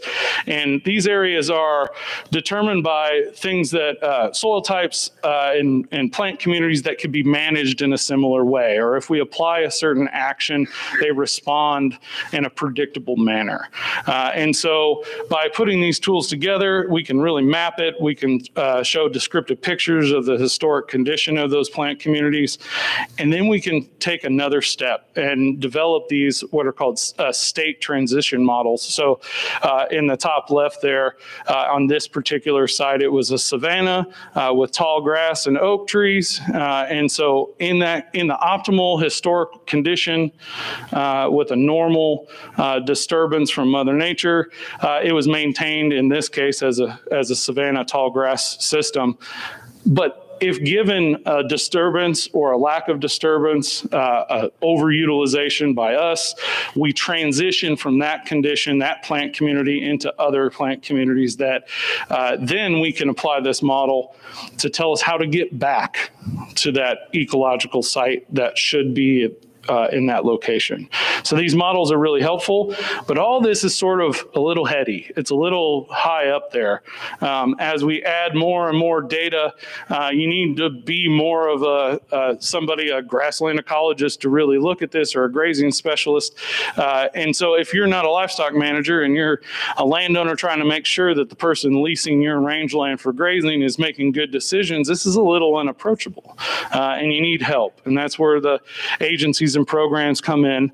But also, as time has gone on, we've developed new tools that use all that information and combine it with some other resources. So uh, the rangeland analysis platform I'm going to way oversimplify this tool. It's really complicated in a really fantastic way. But the range analysis platform uh, takes uh, long history at this point. Since the 80s, we've had very reliable, high quality satellite imagery uh, across the entire continent.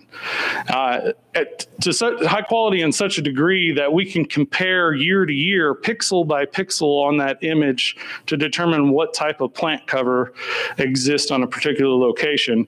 And we can then compare each of those images to each other uh, year by year to see how it has changed. We can pinpoint when a fire has taken place. We can pinpoint, uh, identify acres that were transitioned from native rangeland into cropland. Uh, we can see brush management occurring on the landscape uh, with this tool. And so the initial uh, initiative here uh, for the rangeland analysis platform was to track and identify that woody encroachment that John McLaughlin talked about earlier today. Uh, and I'm going to show a very similar map uh, that came off of this tool. This is provided, uh, put together by the Prairie Project. Uh, using the range analysis platform.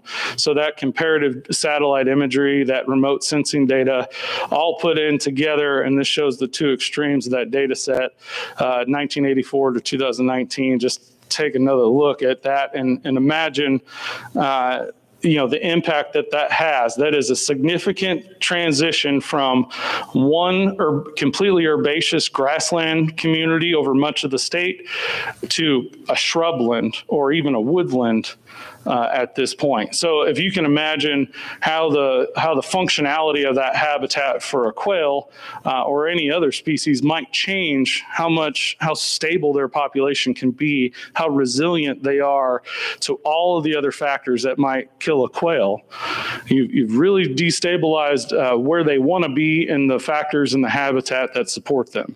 Um, I will also contend that uh, most most folks that you talk to don't see this change has happened happened. Uh, our memories are flawed and very short term, and uh, we will convince ourselves that it is the same thing that we've always looked at for 30 years. Uh, but this type of tool gives us a way to really visualize that change on the landscape. Uh, you can zoom into a pretty tight scale. I believe the pixels are 30 meter pixels. So if you have more than 30, you know, 30 uh, square meters uh, on your ranch, you can take a look at how the plant community has changed. Um, this this image tracks uh, brush encroachment, woody brush encroachment. There are other there are other uh, switches you can flip in this tool to uh, show the difference between annual grasses and perennial grasses, native vegetation versus non-native vegetation. They have different reflectivity and they show up differently in the image, and the uh, the program can detect those changes. Uh, in other parts of the country, uh, in the northern Great Plains, annual exotic annual grasses have taken over large landscapes. This is cheatgrass, uh, and that represents a huge fire hazard, also a major change in the plant community. And th this tool is also used to track uh, the aggressive spreading of cheatgrass in that landscape, as well as the woody encroachment. So uh, just just a few ways that that these tools are are helping us out. Now, when you when you think about that, I can use satellite imagery to identify changes in the plant community. And we also have this other data set that can tell me what plants grow somewhere and how much they grow under certain conditions. And I can compare year to year somebody smarter than I am put together, put one and one together and made two, and we now have the Production Explorer. Uh, the Production Explorer is incredible. Uh, this is a game changer for range management on the whole, uh, but it works. You zoom in, you identify a focal area. This could be your whole ranch. It could be a wildlife management area. It could be one pasture in your ranch, uh, and you can outline that parcel and run an analysis on one location. There is a kind of a minimum scale. It's more powerful at larger scale than smaller scale. But in my opinion, if you have more than a couple hundred acres, this is very accurate. Um, in less than that, it's still useful. It's a it's a guiding post. None of this, uh, none of these tools supplant on the ground experience, the eyeball test by an experienced manager who understands your outcomes that you're looking for and your priorities. Uh, the NRCS range management specialists, the some of the Quail Forever folks are extremely talented uh, in range management uh, and grazing uh, plans. But this is a starting point. This is a way for you to independently fact check what's going on and what you can expect and what you should expect uh, from the plant community on the acres that you're making decisions on. So just, and don't trust yourself as much as you don't trust anybody else. Look at this data first and then form an opinion. Even if you're an experienced producer who's been on the same land for a long time, it's pretty eye opening to see how much forage you could be producing and how much was produced in the past compared to the impact that you're having now. Um, and so, uh, by just drawing a polygon on this map uh, and setting a range of dates uh, and going through a couple other steps, you can input data like how big your cows are and how many days out of the year you're going to graze them. And it calculates in all of their nutritional requirements and because you set that range of dates, it uses that satellite imagery to, to tell you how much forage you produce, you actually produced over that last period of time. We can't make decisions about what we were should have done five years ago, but we can let the outcomes of those decisions tell us what we might do in the future uh, and better inform your decision making about how you utilize that landscape. So I, I, realize not everybody in the room has control over those decisions and, and we'll get to more about that. But, but if you do, if you're a decision maker on acres and you didn't have this information before, know that these tools are available and not only tools that you can check and get some idea for yourself and then start talking to folks that'd be that'd be the next step build a team of folks that can provide really good information for you. And as never before, as we just talked about with this partnership uh, panel that was up here earlier, uh, the amount of resources that are available now to help private landowners make good and better stewardship decisions that are compatible with quail. And I'll tell you, everybody, everybody I know uh, considers quail a top priority uh, that deals with land management uh, in these circles. This is this group of folks is down on the, the mid Gulf Coast area. Uh, just a smattering of folks. There's Matt Matt, Matt Mahacek from NRCS that I mentioned earlier. Uh, some Parks and Wildlife folks, Quail Forever folks, Gary Stevens from Wildlife Habitat Federation operations on here. Uh, all these folks are available free to advise you on wildlife habitat uh, you know, decision making. They can help you come up with your goals and set your priorities if you don't already know what they are, and then they can help you reach those goals we all have our strengths and weaknesses, and we know that. Uh, I think John mentioned it uh, just just earlier that if one of us doesn't know the answer to your question, we certainly know who to ask, uh, and we can we can find the best way to to reach resources and, and guidance that you need to make good decisions.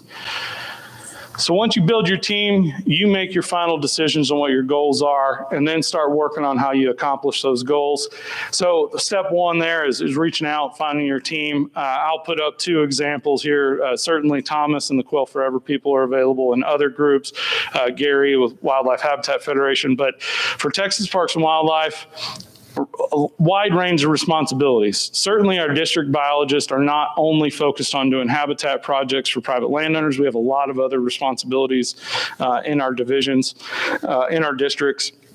But they are available for those consultations. And they're usually the best first step. If your priorities are wildlife minded, especially quail is a priority, you should reach out to your local district biologist. You find that person, the best way to do it, I won't put a website up there. No one ever writes that stuff down or follows it. So it sounds dumb, but just Google TPWD, find a biologist. I promise it's the first link. You'll see this page with the map of Texas.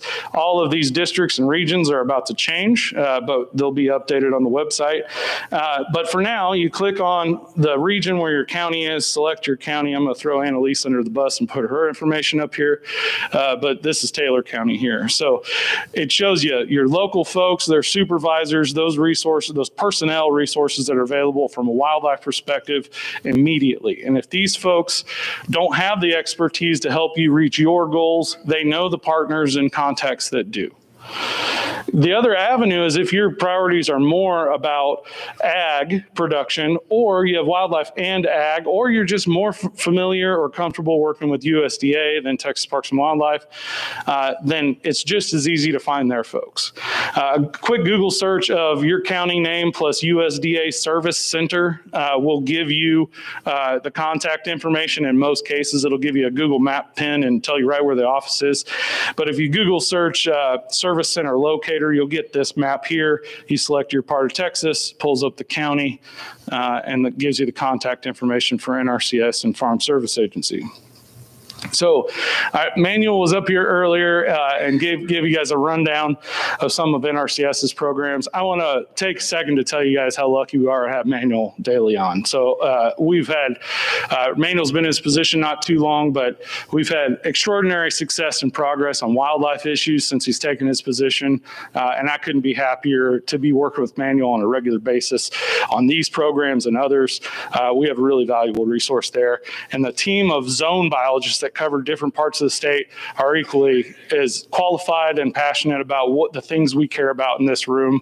We have advocates within USDA at the local level that are really trying to move the needle, and they're great partners for us, uh, and they facilitate a lot of this stuff happening. So, uh, really appreciate their their work there. So, regional conservation partnerships uh, are a way to bring the decision making and prioritization of outcomes of these huge federal dollars to partners. Right now, we're engaging on that in every way possible, both directly as Texas Parks and Wildlife, supporting positions and partnerships with NGOs like Quail Forever and American Bird Conservancy and dozens and dozens of other groups, uh, but also uh, easement holders and uh, land trust organizations to gain more resources and bring them into the state. That's the goal. We have to get more and more resources into the state. This is a huge job, and we can't even accomplish it with what we have right now. So, so um, RCPP is an important way to bring extra stuff in.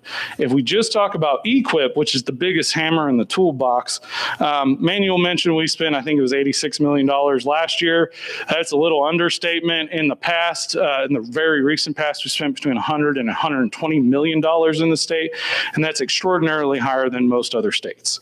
Uh, so we get a lot of resources through EQIP. Not all of them are wildlife compatible, but the more active this group is, uh, and the more partnerships we build, the more we change the, the status quo on wildlife compatibility with the outcomes of these programs and resources.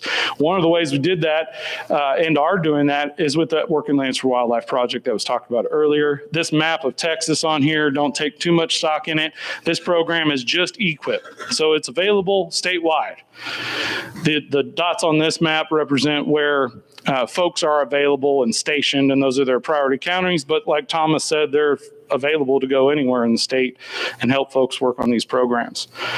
The Bobwhite Working Lands for Wildlife Project brings attention and marketing and momentum and resources together for bobwhite quail. And I know a lot of groups and people that are represented here helped us sign petitions and letters to get this to happen. Uh, and that was about two years ago, two and a half years ago. So it's not an end all be all, but it's momentum. It's dedicated resources. It's attention for bobwhites on a national scale. And we're playing a big role in Texas. Another thing that was mentioned earlier is CRP or the Conservation Reserve Program. There's a lot of forms of CRP. There's a lot of programmatic stuff. I'm not going to beat you guys up with that stuff, but I'll tell you that we've had a, a project. It's a State Acres for Wildlife Enhancement Project, SAFE.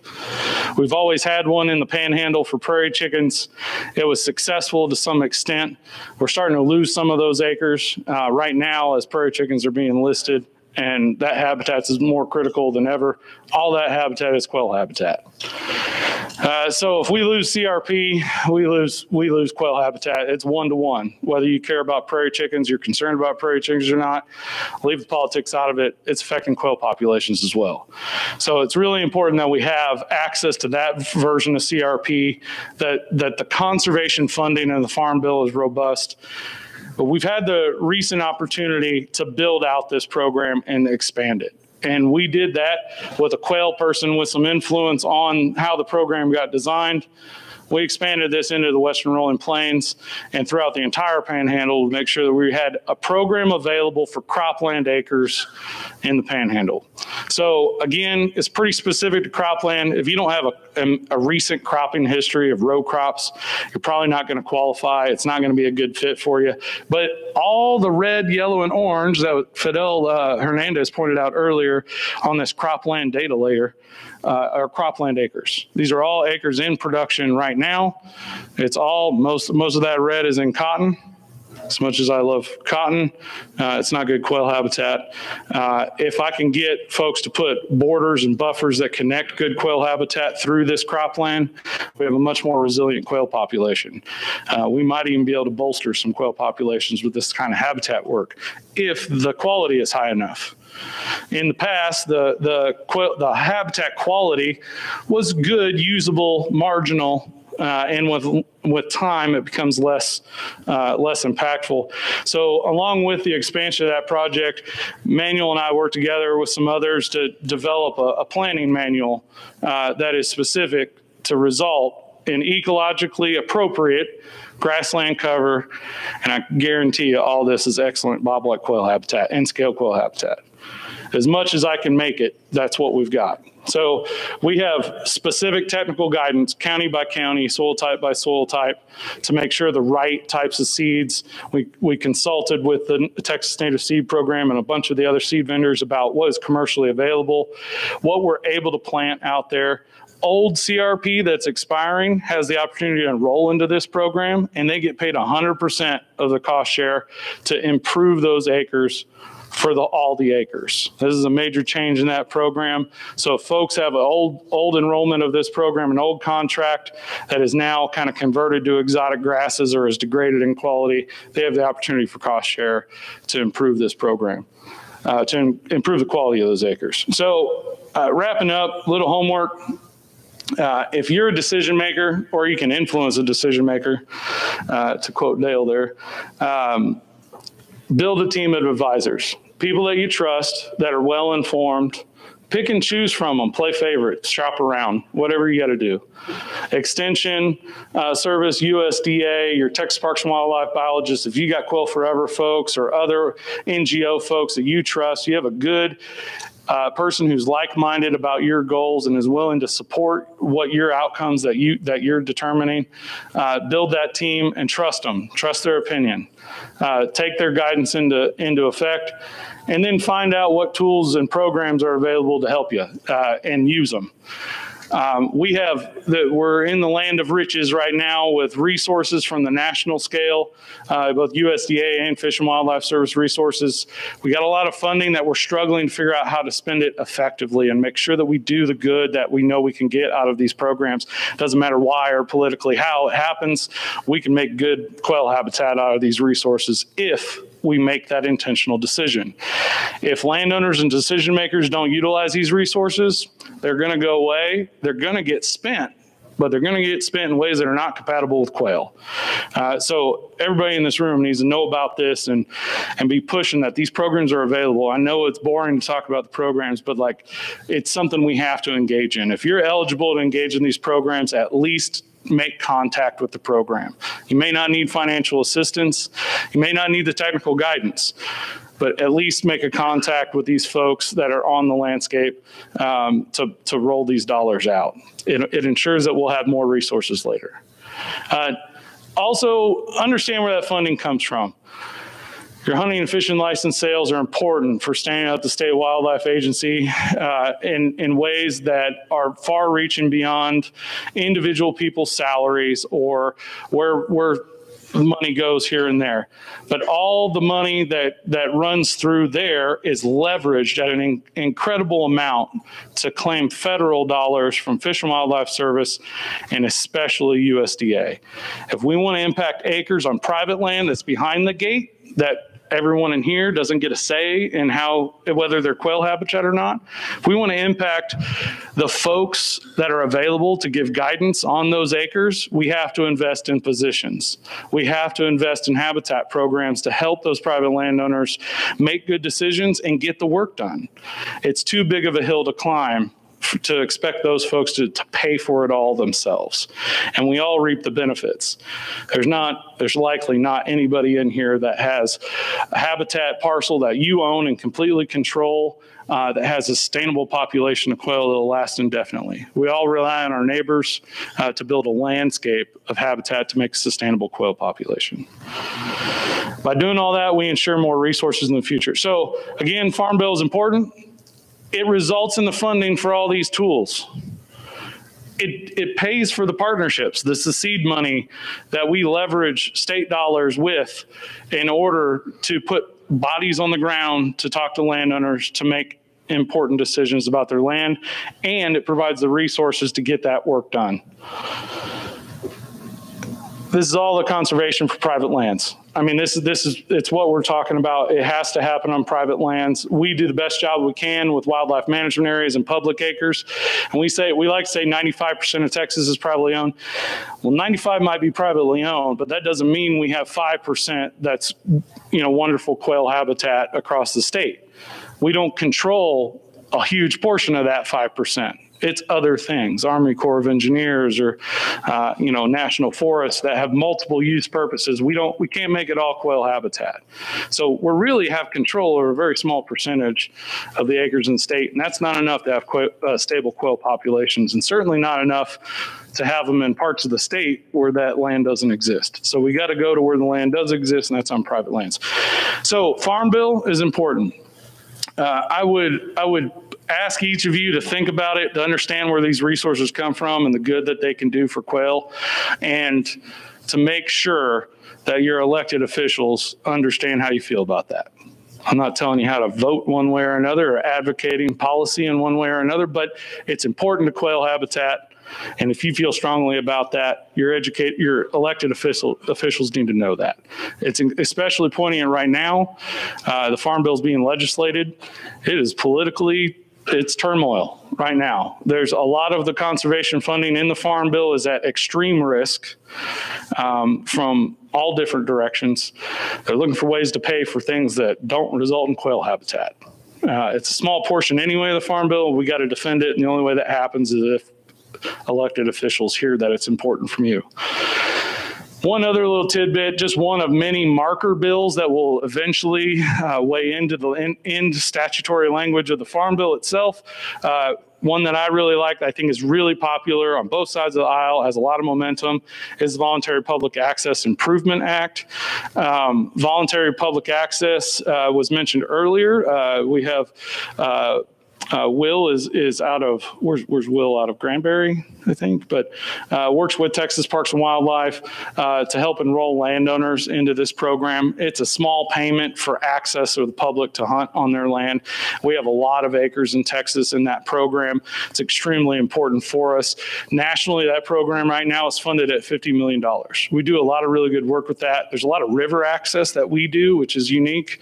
Uh, so fishermen really get a lot out of that program as well it's popular across the political spectrum. Uh, I expect not. I expect to gain ground on this one particular program. The this act is proposing that they triple that budget. If they triple that budget and change some of the administrative rules, we can pay landowners a whole lot more, and and lock up even more access for on private land for public access. This is a common strategy in much of the Midwest. It was mentioned how South Dakota prioritizes their local geography uh, for pheasants and markets that. I think Joe mentioned that. Um, it's something we could do in, in Texas if we had access to a sufficient amount of the funds to open those gates. Um, so, one one particular piece of legislation you might be interested in talking to your elected officials about. But I'll wrap it up there, and I don't know if I have time for questions or not, or if anybody's interested in asking questions. But Questions for Will? I'm a resource available for anybody. So you have questions about stuff, uh, let me know. I, I've got business cards. I can give them to you. We have a lot of uh, partnerships that are engaging in some of these opportunities, uh, and I'm helping them through this process as well. So Parks and Wildlife makes the investment, but I'm available for for any of our partners for, on this stuff. Question over here. Not More of a comment than a question, but earlier in your presentation, you were talking about the regional analysis platform as well as other resources available to, to the public. Yeah. For me personally, using it both as a biologist and as a landowner, I've found it very useful, the fact that you can see trends for the last 30 years. Yeah. And whether you've owned that piece of property or not, you can look back and say, hey, you know, what maybe caused this, this trend uptick or downtick? Was it climate related? Was it a change in management practices, maybe stocking rates, et cetera? It's a great tool to be able to visually kind of see what that satellite imagery is estimating that forage production to be on an annual basis. Yeah, I agree. Uh, Thomas was saying, you know, the, the power of that range analysis platform. In some ways, some of the coolest thing is is the longevity. Look, seeing what happened in the history, and Dr. Hernandez mentioned that that past impact. What happened here before uh, likely has an impact on what it is now and what it can be in the future. And and this range analysis platform gives us a way to look back in time in an objective way. The image is the image. Uh, it's not it's not obstructed by our opinion or our faulty memory. Um, so it's it's a really powerful tool in some ways there. Anyone else? Thank you, Will.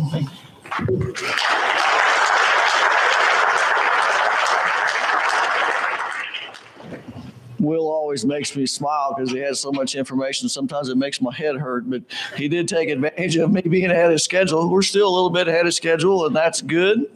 Um, I assume my next two speakers are in the room somewhere, Ben and Steve, and are will be ready to go a little bit early as well.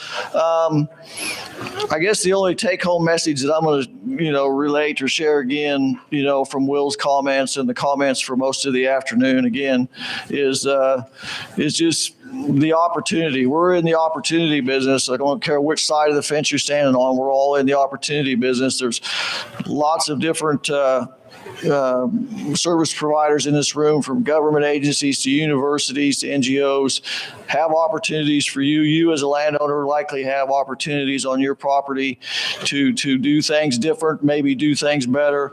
And I just encourage us all to uh, develop some type of relationship so we can explore those opportunities together and do better things for quail. So, um, so moving from all these technical conversations to what I'm going to consider a little bit more fun, maybe some toys. We're going to have a couple folks come up and talk to us about hunting gear and new technology.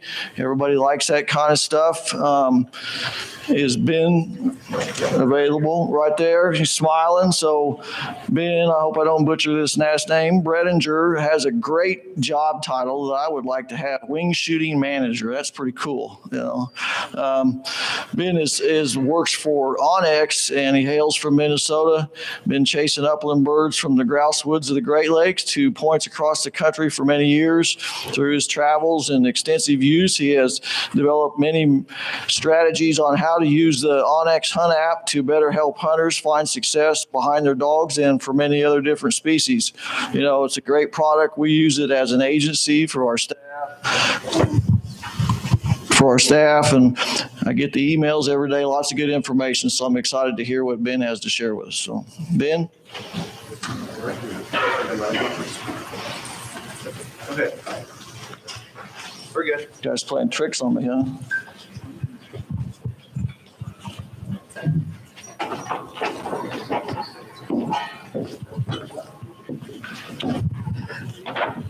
Thank you. I'm, I'm looking forward to, to talking with you today about onX Hunt. Just with a show of hands to start, um, who has used or has onX right now? Nice. I love it. Um, you know, I, I did see obviously a number of hands that haven't used it before. So I'll just give you a little bit of background and as well as some of the, the features that we've developed in the app, uh, features and also layers that can help you, um, you know, whether it's, it's be a better hunter or be a more successful land manager. Uh, the, the interesting thing about Texas is, is we were found out of Montana where there is an ample amount of public land. So we get it a lot where it's like, well, I hunt my, you know, my ranch, my farm. I don't need this tool. And and when Steve comes up, I'll have him touch on it. But uh, you know, there are a lot of uses for the app on private land. Um, to to help really focus and create strategies and you know it's been been talked about before but year over year to help find trends and make you a more successful successful hunter. So, um, onX was founded in 2009, and if, if you guys remember the handheld GPSs, right now we have all got alphas and whatnot, but uh, handheld GPSs were great. Uh, you could put the onX Hunt chip in there, and you could see property lines, and that was a huge a huge step forward in technology. You could see, make sure you're on the right lands. You can make sure you're on public lands. Um, but as st- smartphones, you know, we almost all have one now. Uh, in 2013, we created the onX Hunt app, and now you have all that same power in your phone. You can auto update, makes life a lot easier. So, um, we have grown quite a bit since 2013. So, uh, like I said, the crux of the mapping app was the private and public land layers. That that is the crux. That's what a lot of people use it for. Our motto is know where you stand. So that's a big deal. But since then, we have really added a lot to this to build a really robust tool for hunters all over the country. And we're going to talk about some of those things today. So, uh, layers is a, another huge part. This is where all of the information lives on the app. Um, so again, we talked about private lands, public lands, as well as having, you know, if you travel to other states at all, or I think Texas actually has a walk-in program here as well. All of those, all of those layers will pop up on the map. They're color coordinated. You know, you know which lands are which, uh, as well as uh, each state has a lot of unique layers. Uh, I think I saw it in Texas, like possible access layer. Um, those are kind of scattered around the whole country. For example, I'm from Minnesota, so a little ways away from here, and up in the Northwoods, we have what's called it's, it's called Blandin Paper Company, and they open up all of their land to hunters. So that is not something that is considered it's not enrolled in walk-in. It's not considered public, um, but it opens up. I mean, they they have three, four hundred thousand acres up in northern Minnesota that they allow hunting on, and without you know an application like onX, you would never be able to find those types of layers. So each state is very unique. Uh, different states have game layers. I know, for example, Arizona has upland bird game layers, a uh, bunch of different stuff. So if you're going to travel out of state, I encourage you to go look at those different layers and, and help glean some of that knowledge. Uh, so content. This is this is uh, the real you know, for a lot of private land people, this is where this app really excels. Um, so we're talking waypoints, we're talking tracks. You can draw lines. Um, you can draw area shapes. For example, if you're planning food plots, if you're trying to conduct a prescribed burn and you want to see how much you want to burn, you can map all of this with the app. Um, going back to waypoints, so waypoints is a, a great tool that I use. If you would look at my onX account, I think I have like 5,600 waypoints in the app. It looks like a pink and purple polka dotted mess. But I have different strategies for how I use waypoints to track, you know, my hunting over time because my memory is absolutely terrible and I could come to a spot like 2 years later and be like, "Man, this looks like a great spot again." vice versa i could show up there and be like oh yeah this is why i didn't hunt this spot. So i'm very diligent diligent about uh, marking waypoints. So each person has their different system a lot of people use different color coordination for different years. Like everything on this property in yellow is from 2015, purple is 16, et cetera, et cetera, et cetera. I use mine a little bit differently. I use it uh, when I'm scouting, I travel a fair amount to hunt. So, for example, everything that I've scouted on the internet or on the onX app, is in yellow. Everything I have, you know, hunted and successfully found birds, I put in blue. And then if I've been to a spot and it doesn't look good, then I will put it in black just so I have that knowledge. Uh, you can add photos in there, you can add notes. So I take a lot of notes. Um, I, I can't say I mark all the birds I flush, but it, when I go to a property and I've hunted a property, you know, year over year over year, and I do end up putting a lot of waypoints on, you know, for example, each covey I've found, it's really interesting to take a look at that, especially when you get five, six years of data and just to see whether it's like, okay, I wonder if this is a similar covey, but you can really glean a lot of insight that you can then scale to a different property. Or if you're hunting, you're on a trip, then you can find other pieces of property that have those similar features. Uh, and then this is another this is another fun thing that we launched a year or so ago. I don't know if any of you guys have done it before where you're trying to share a waypoint with a buddy. You're going on a hunting trip and all of a sudden, I'm going to share this waypoint, this waypoint, this one. And before you know it, you have a text message string that's like 50 50 messages long and you're like man did i add this one? Didn't i add this one? Um, so we, we've we've simplified that and created folders. So for example you you've got a lease and you've got a buddy that's going to come out to hunt and you guys might split up right and one guy goes this way, one guy goes that way, but he doesn't know the ranch. So what I can do is, you know, uh, I can go drive all the roads, mark them in tracks. Then you can go name that road. Um, you can mark where all the, for example, water holes are, maybe where the house is, where we're going to meet up. I can put that all into a folder and I can call it whatever quail camp. And then before the hunt, I can go share that to that friend. So then he has all that information too, and he can be self sufficient. You know, if something happens, he can get back to the truck or whatever, um, and he knows the plan. So that's an easy thing to do. Um, and again, these these tools are they're pretty endless. Um, another cool one that we released is is compass mode.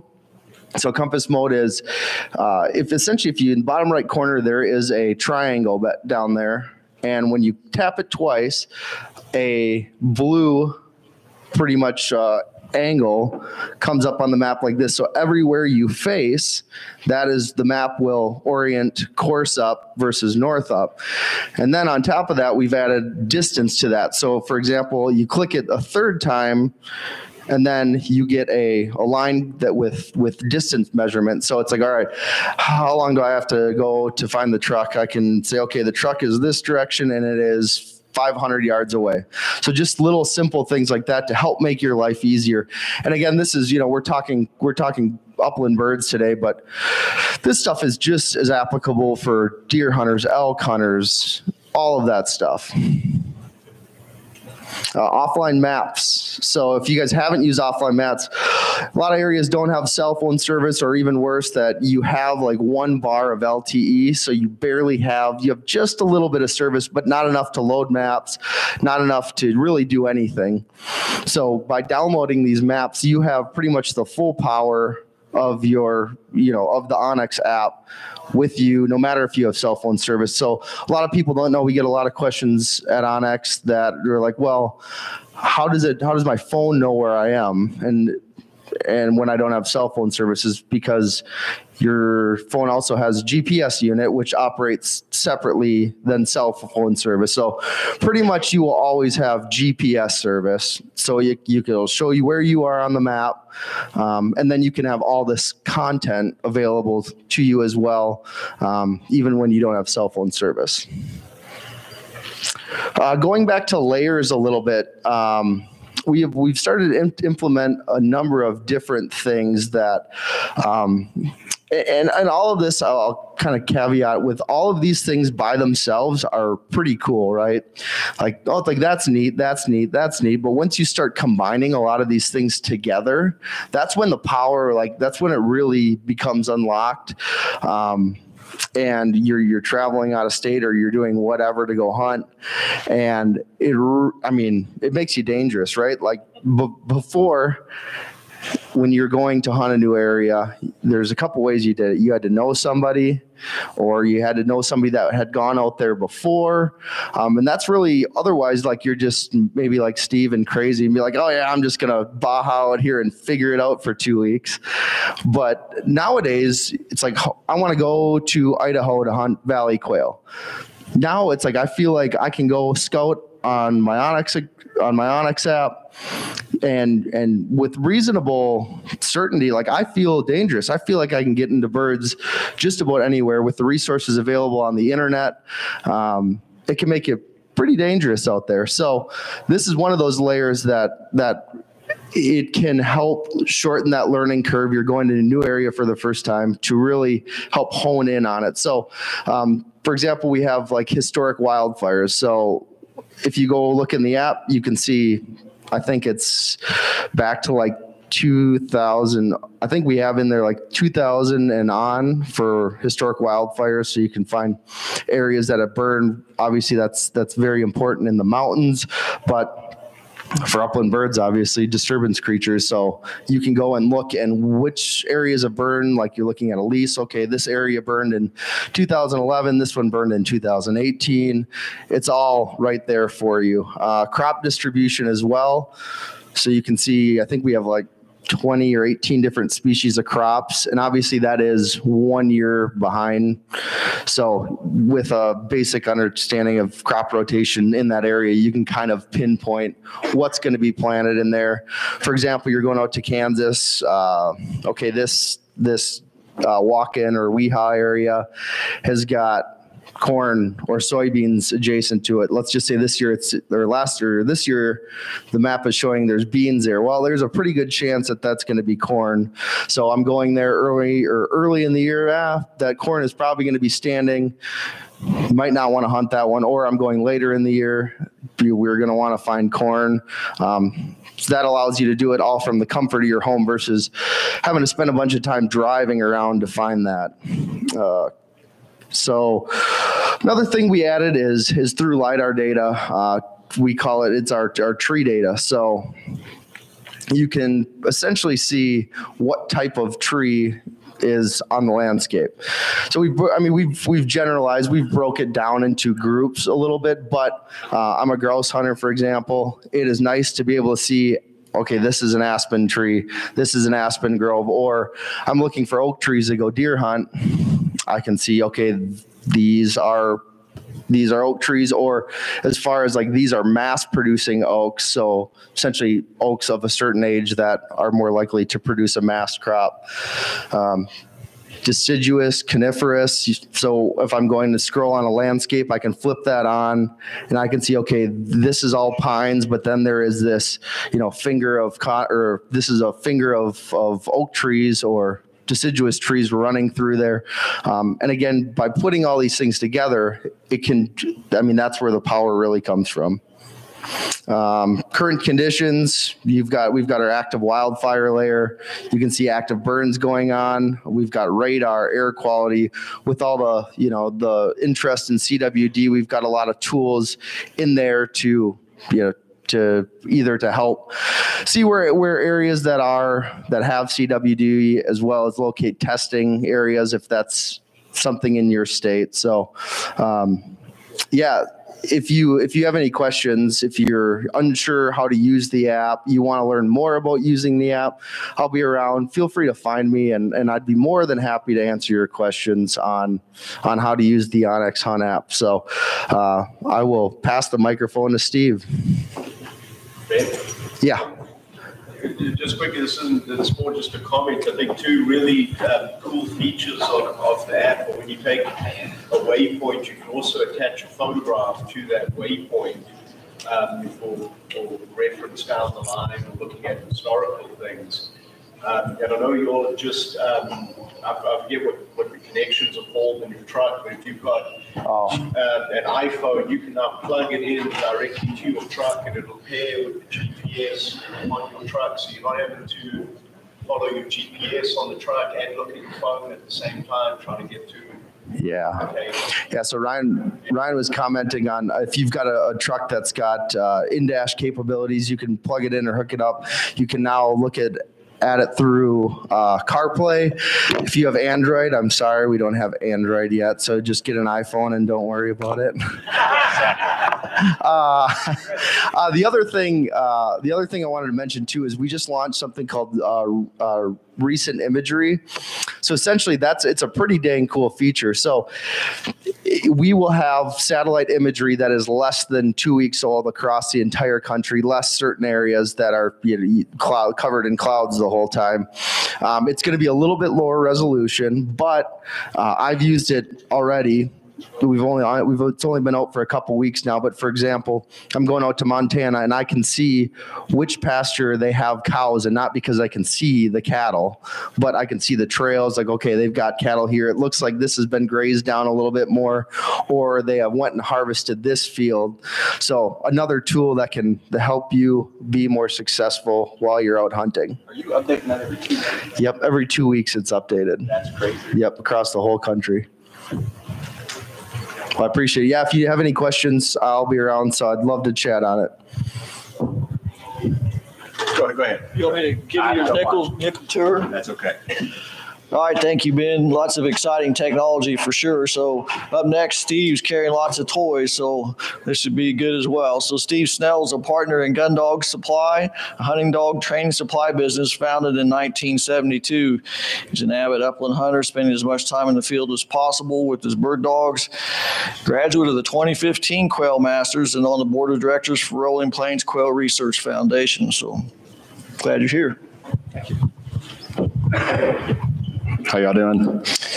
I, uh, I I think I can note that that putting the bird dog guy in the last position, I'm not sure what that says. I think it's a good thing. I think it's a good thing. I will say I think that bird dogs have been underrepresented today, and we're gonna we're gonna talk about that before the next one. Um, how many of y'all are quail hunters?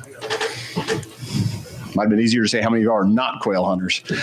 Um, I'm in the dog business, dog supply business, um, and I sell dog collars. And if you if you look, um, when when you boil down what I do for a living, it has more to do with with reconnecting lost dogs with their owners than almost anything else that I do. And we do that primarily through ID plates on tags. But nowadays we do that with GPS collars. Uh, my earliest memory of uh, I, I'm going to say it's my first quail hunt. I was too little to carry a gun, but I got to go. And I clearly remember getting out of the truck and my father turning loose. He had one setter. Uh, her name was Bit. And uh, only dog we had at the time, and I clearly I could see it right now. She she gets out of the truck. He he gets his gun. She takes off. She goes over the hill, and my first thought is, I will never see this dog again.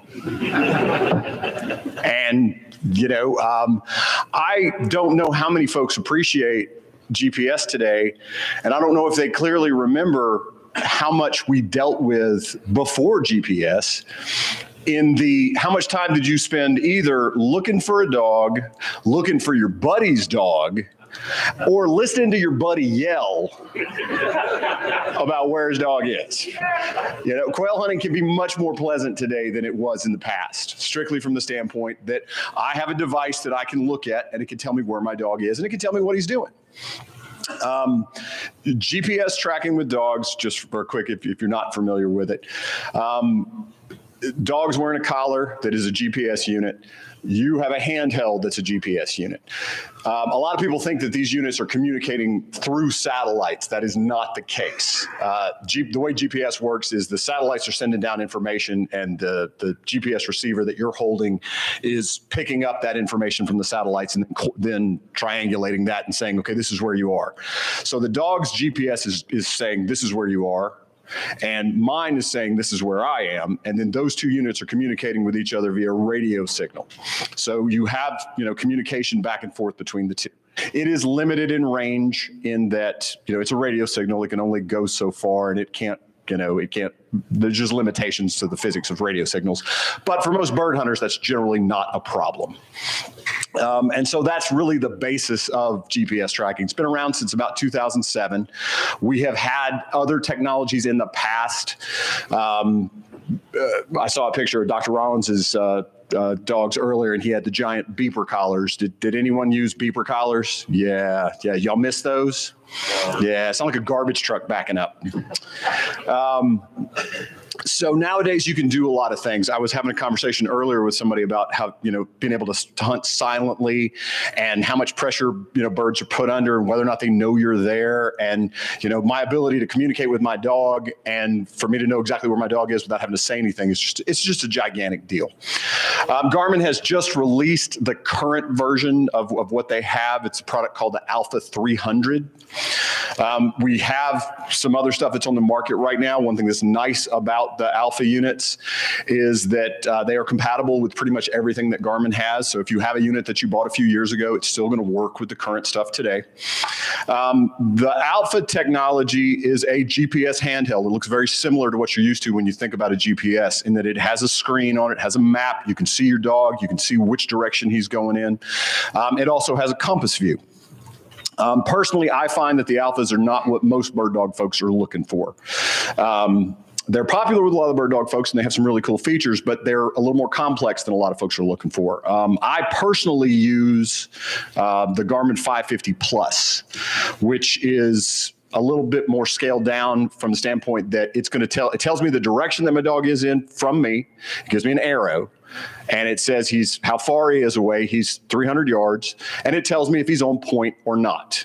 Let me back up a little bit. When when I go to a dog that is on point, I always say to the people I'm hunting with, "I've got a dog stopped."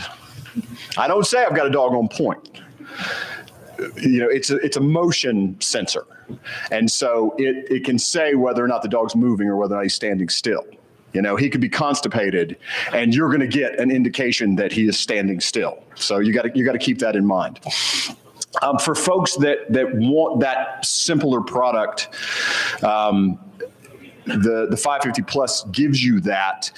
Uh, but if you need maps, Garmin now has an app that you can use that communicates with that 550 plus, so you can actually see maps on your smartphone.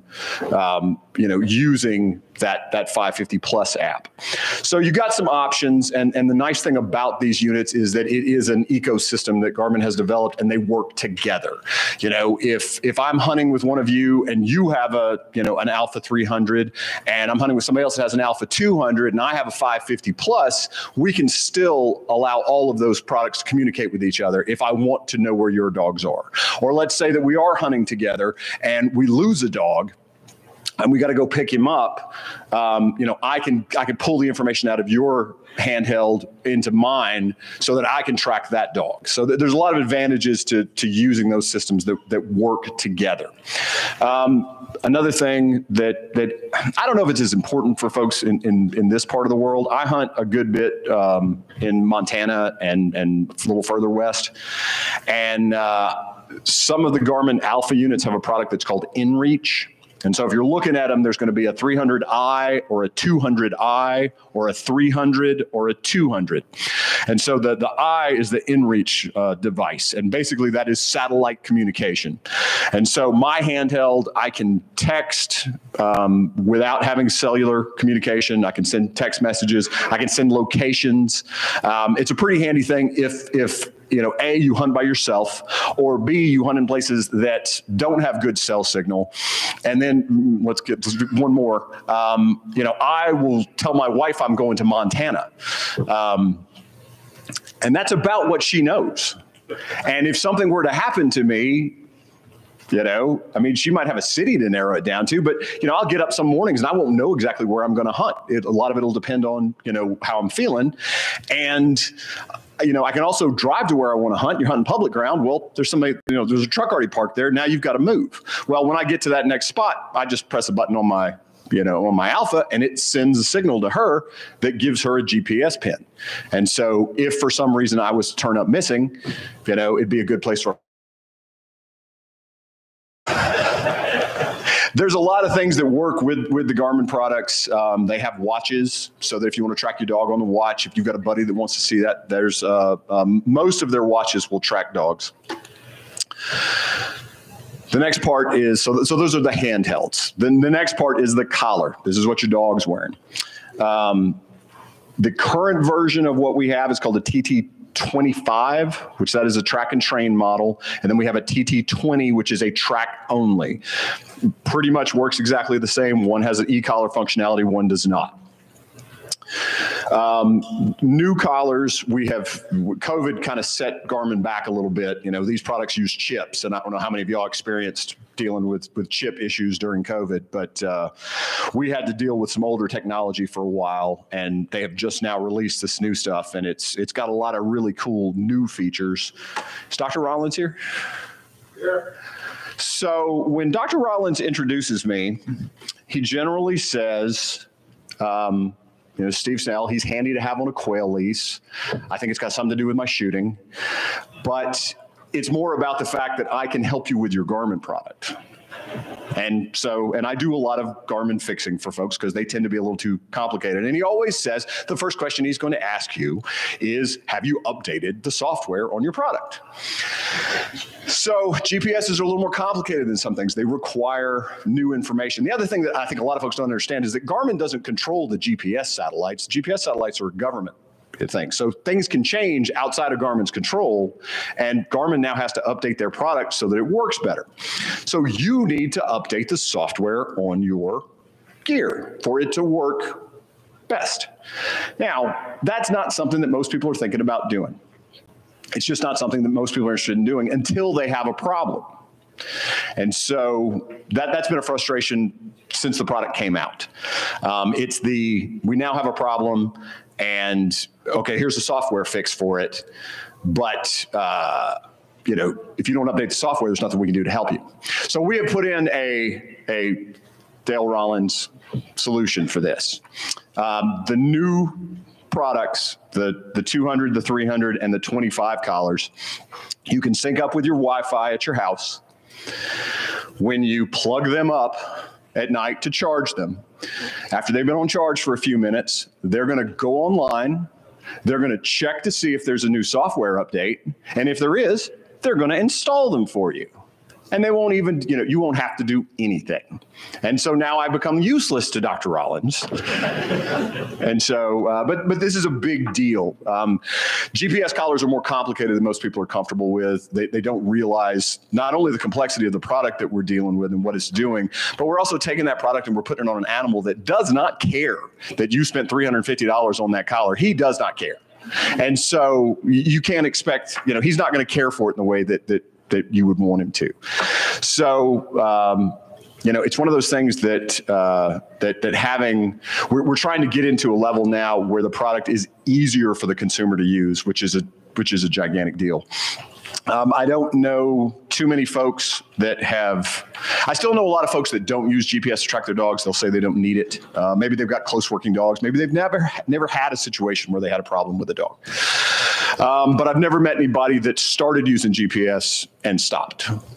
You know, maybe they're frustrated with some of the stuff. Maybe they've had you know problems with it. Um, but I've never had a customer that that it didn't change the way that they quail hunted and it didn't make it a better experience for them. And so uh, I, am a giant fan of the product. It, it, takes an enormous amount of anxiety.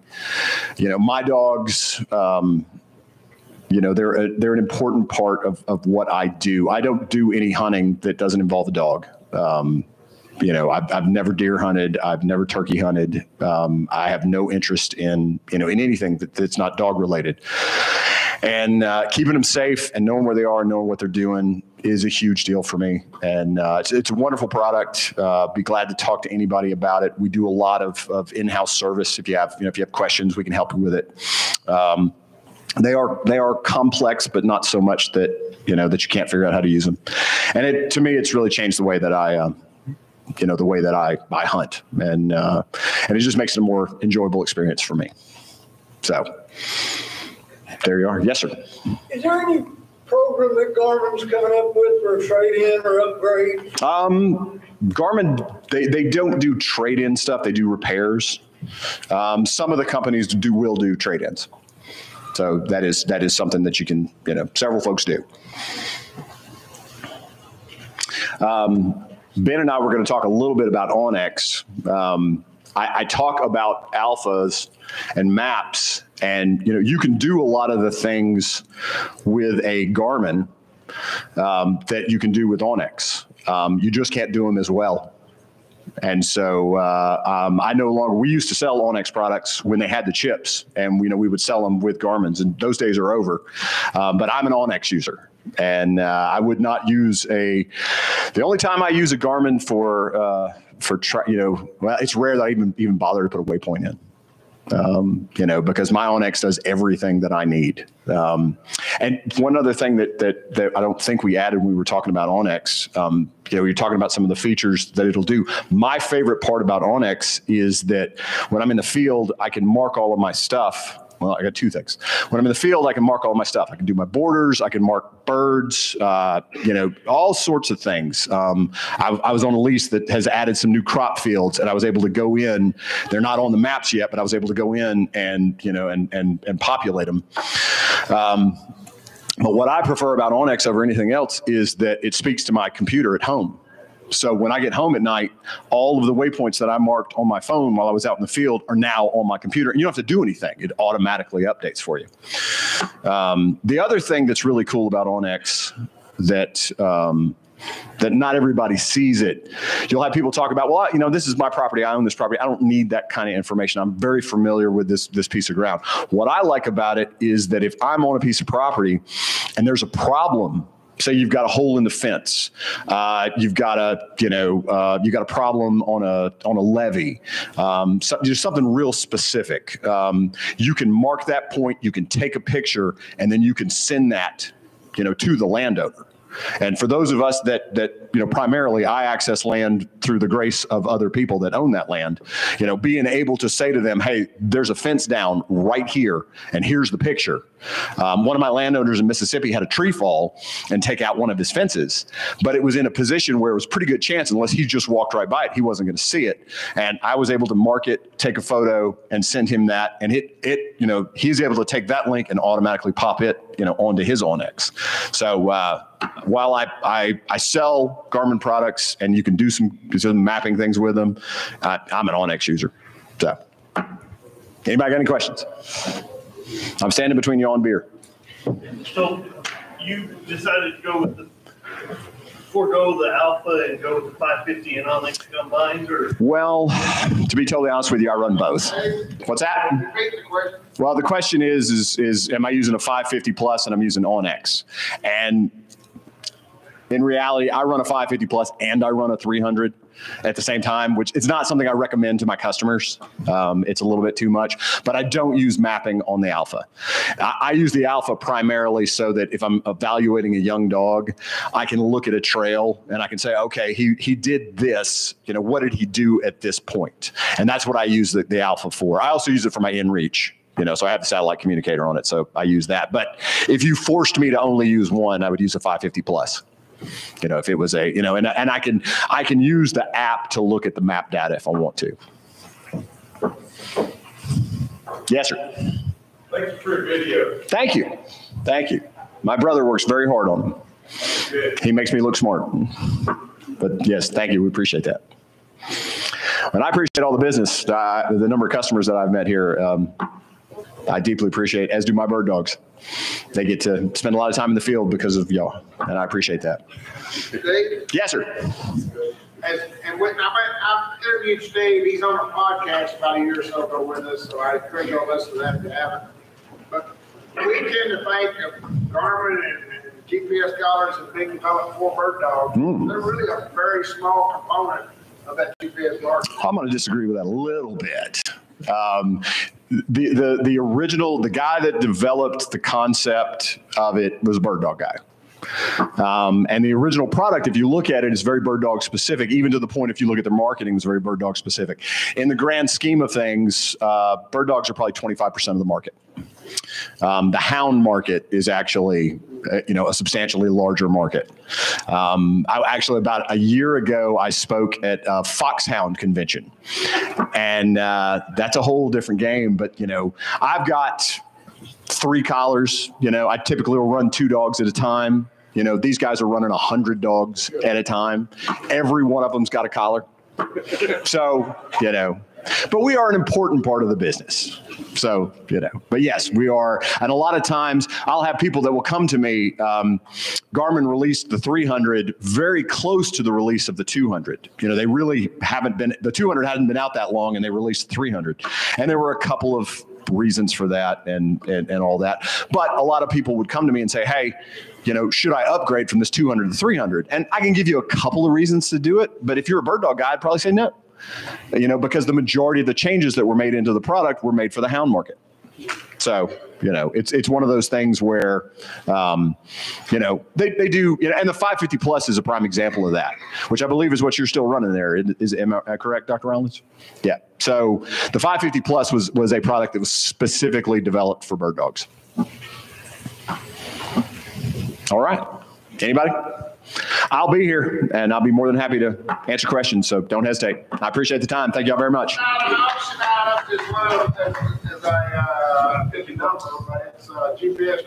Yeah. And Joe Crafton, uh, last I checked, had the largest bid, but but y'all can beat him, and Joe can afford it now.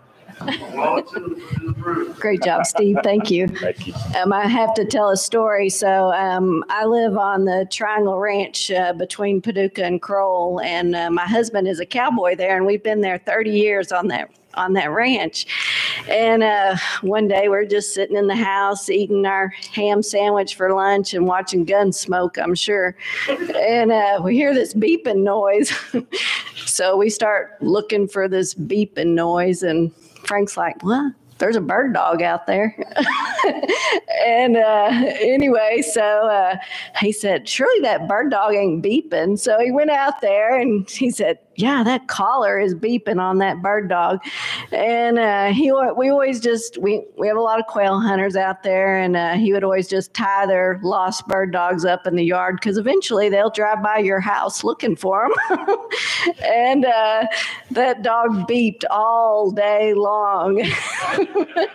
and uh, Frank, he would go out there and he'd uh, look at that collar. He'd like, how do you turn this beeper off? he could never figure out how to turn that beeper. I finally took the collar off the dog, threw it out in the pasture somewhere, and because uh, we never figured out how to turn that beeper off. But yeah, anyway, we have a lot of uh, lost bird dog stories, and we used to have a lot more before GPS technology. So now we uh, occasionally get uh, if you see a horse loose in North Cottonwood, it's I'm okay but my horse got away from me. So, anyway, okay, I got some housekeeping notes for y'all. So um, number one is Ricky Linex is going to. Uh, they will be here tomorrow selling their books, um, Range Plants of North Central Texas. If you always wanted that plant book, it's excellent, and they will be selling it in the morning from eight to ten thirty for thirty five dollars cash or check. Please bring exact change. There's an ATM in the MCM Elegante, so uh, get correct change. So for that. Um, also, um, last chance to enter the plant and seed ID contest. So we're fixing to be wrapping that up. Um, the Texas Wildlife Association is sponsoring your social mixer alcohol we have some drinks. If you, unfortunately, if you used tried to use your drink tickets at Mulligan's last night, anybody do that? so, um, so those, so you got two drink tickets for um, beverages on us tonight uh, on Texas Wildlife Association, and they also have a will have a cash bar. Um, the poster session is going to be going on 5:30 to 8:30 tonight. So, and if you've never looked at uh, been to a poster session, don't know what it is, um, we have some fantastic uh, college students with their research projects, and they will be standing by their posters this evening, and you can ask them questions about their research that they've done related to bobwhite or quail, not just bobwhite. Um, so the silent auction will close at 7 p.m. tonight. So get those final bids in.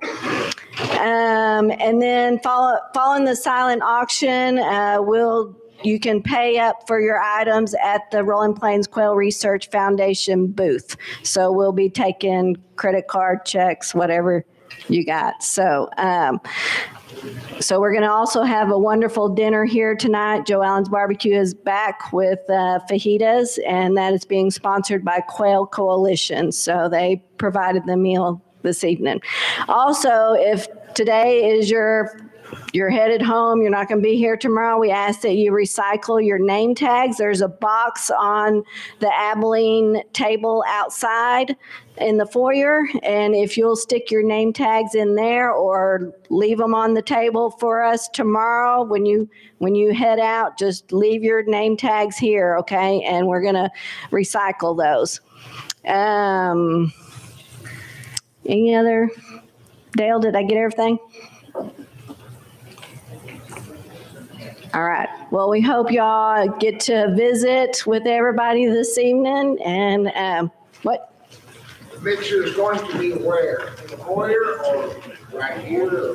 Uh, so the mixer, so the beverages will be served out of this end concession stand on this side and in the foyer. So they'll have it have the windows open on both sides. So that so supper is going to be served here too. All right. Any other questions for me? All right, y'all have a great evening.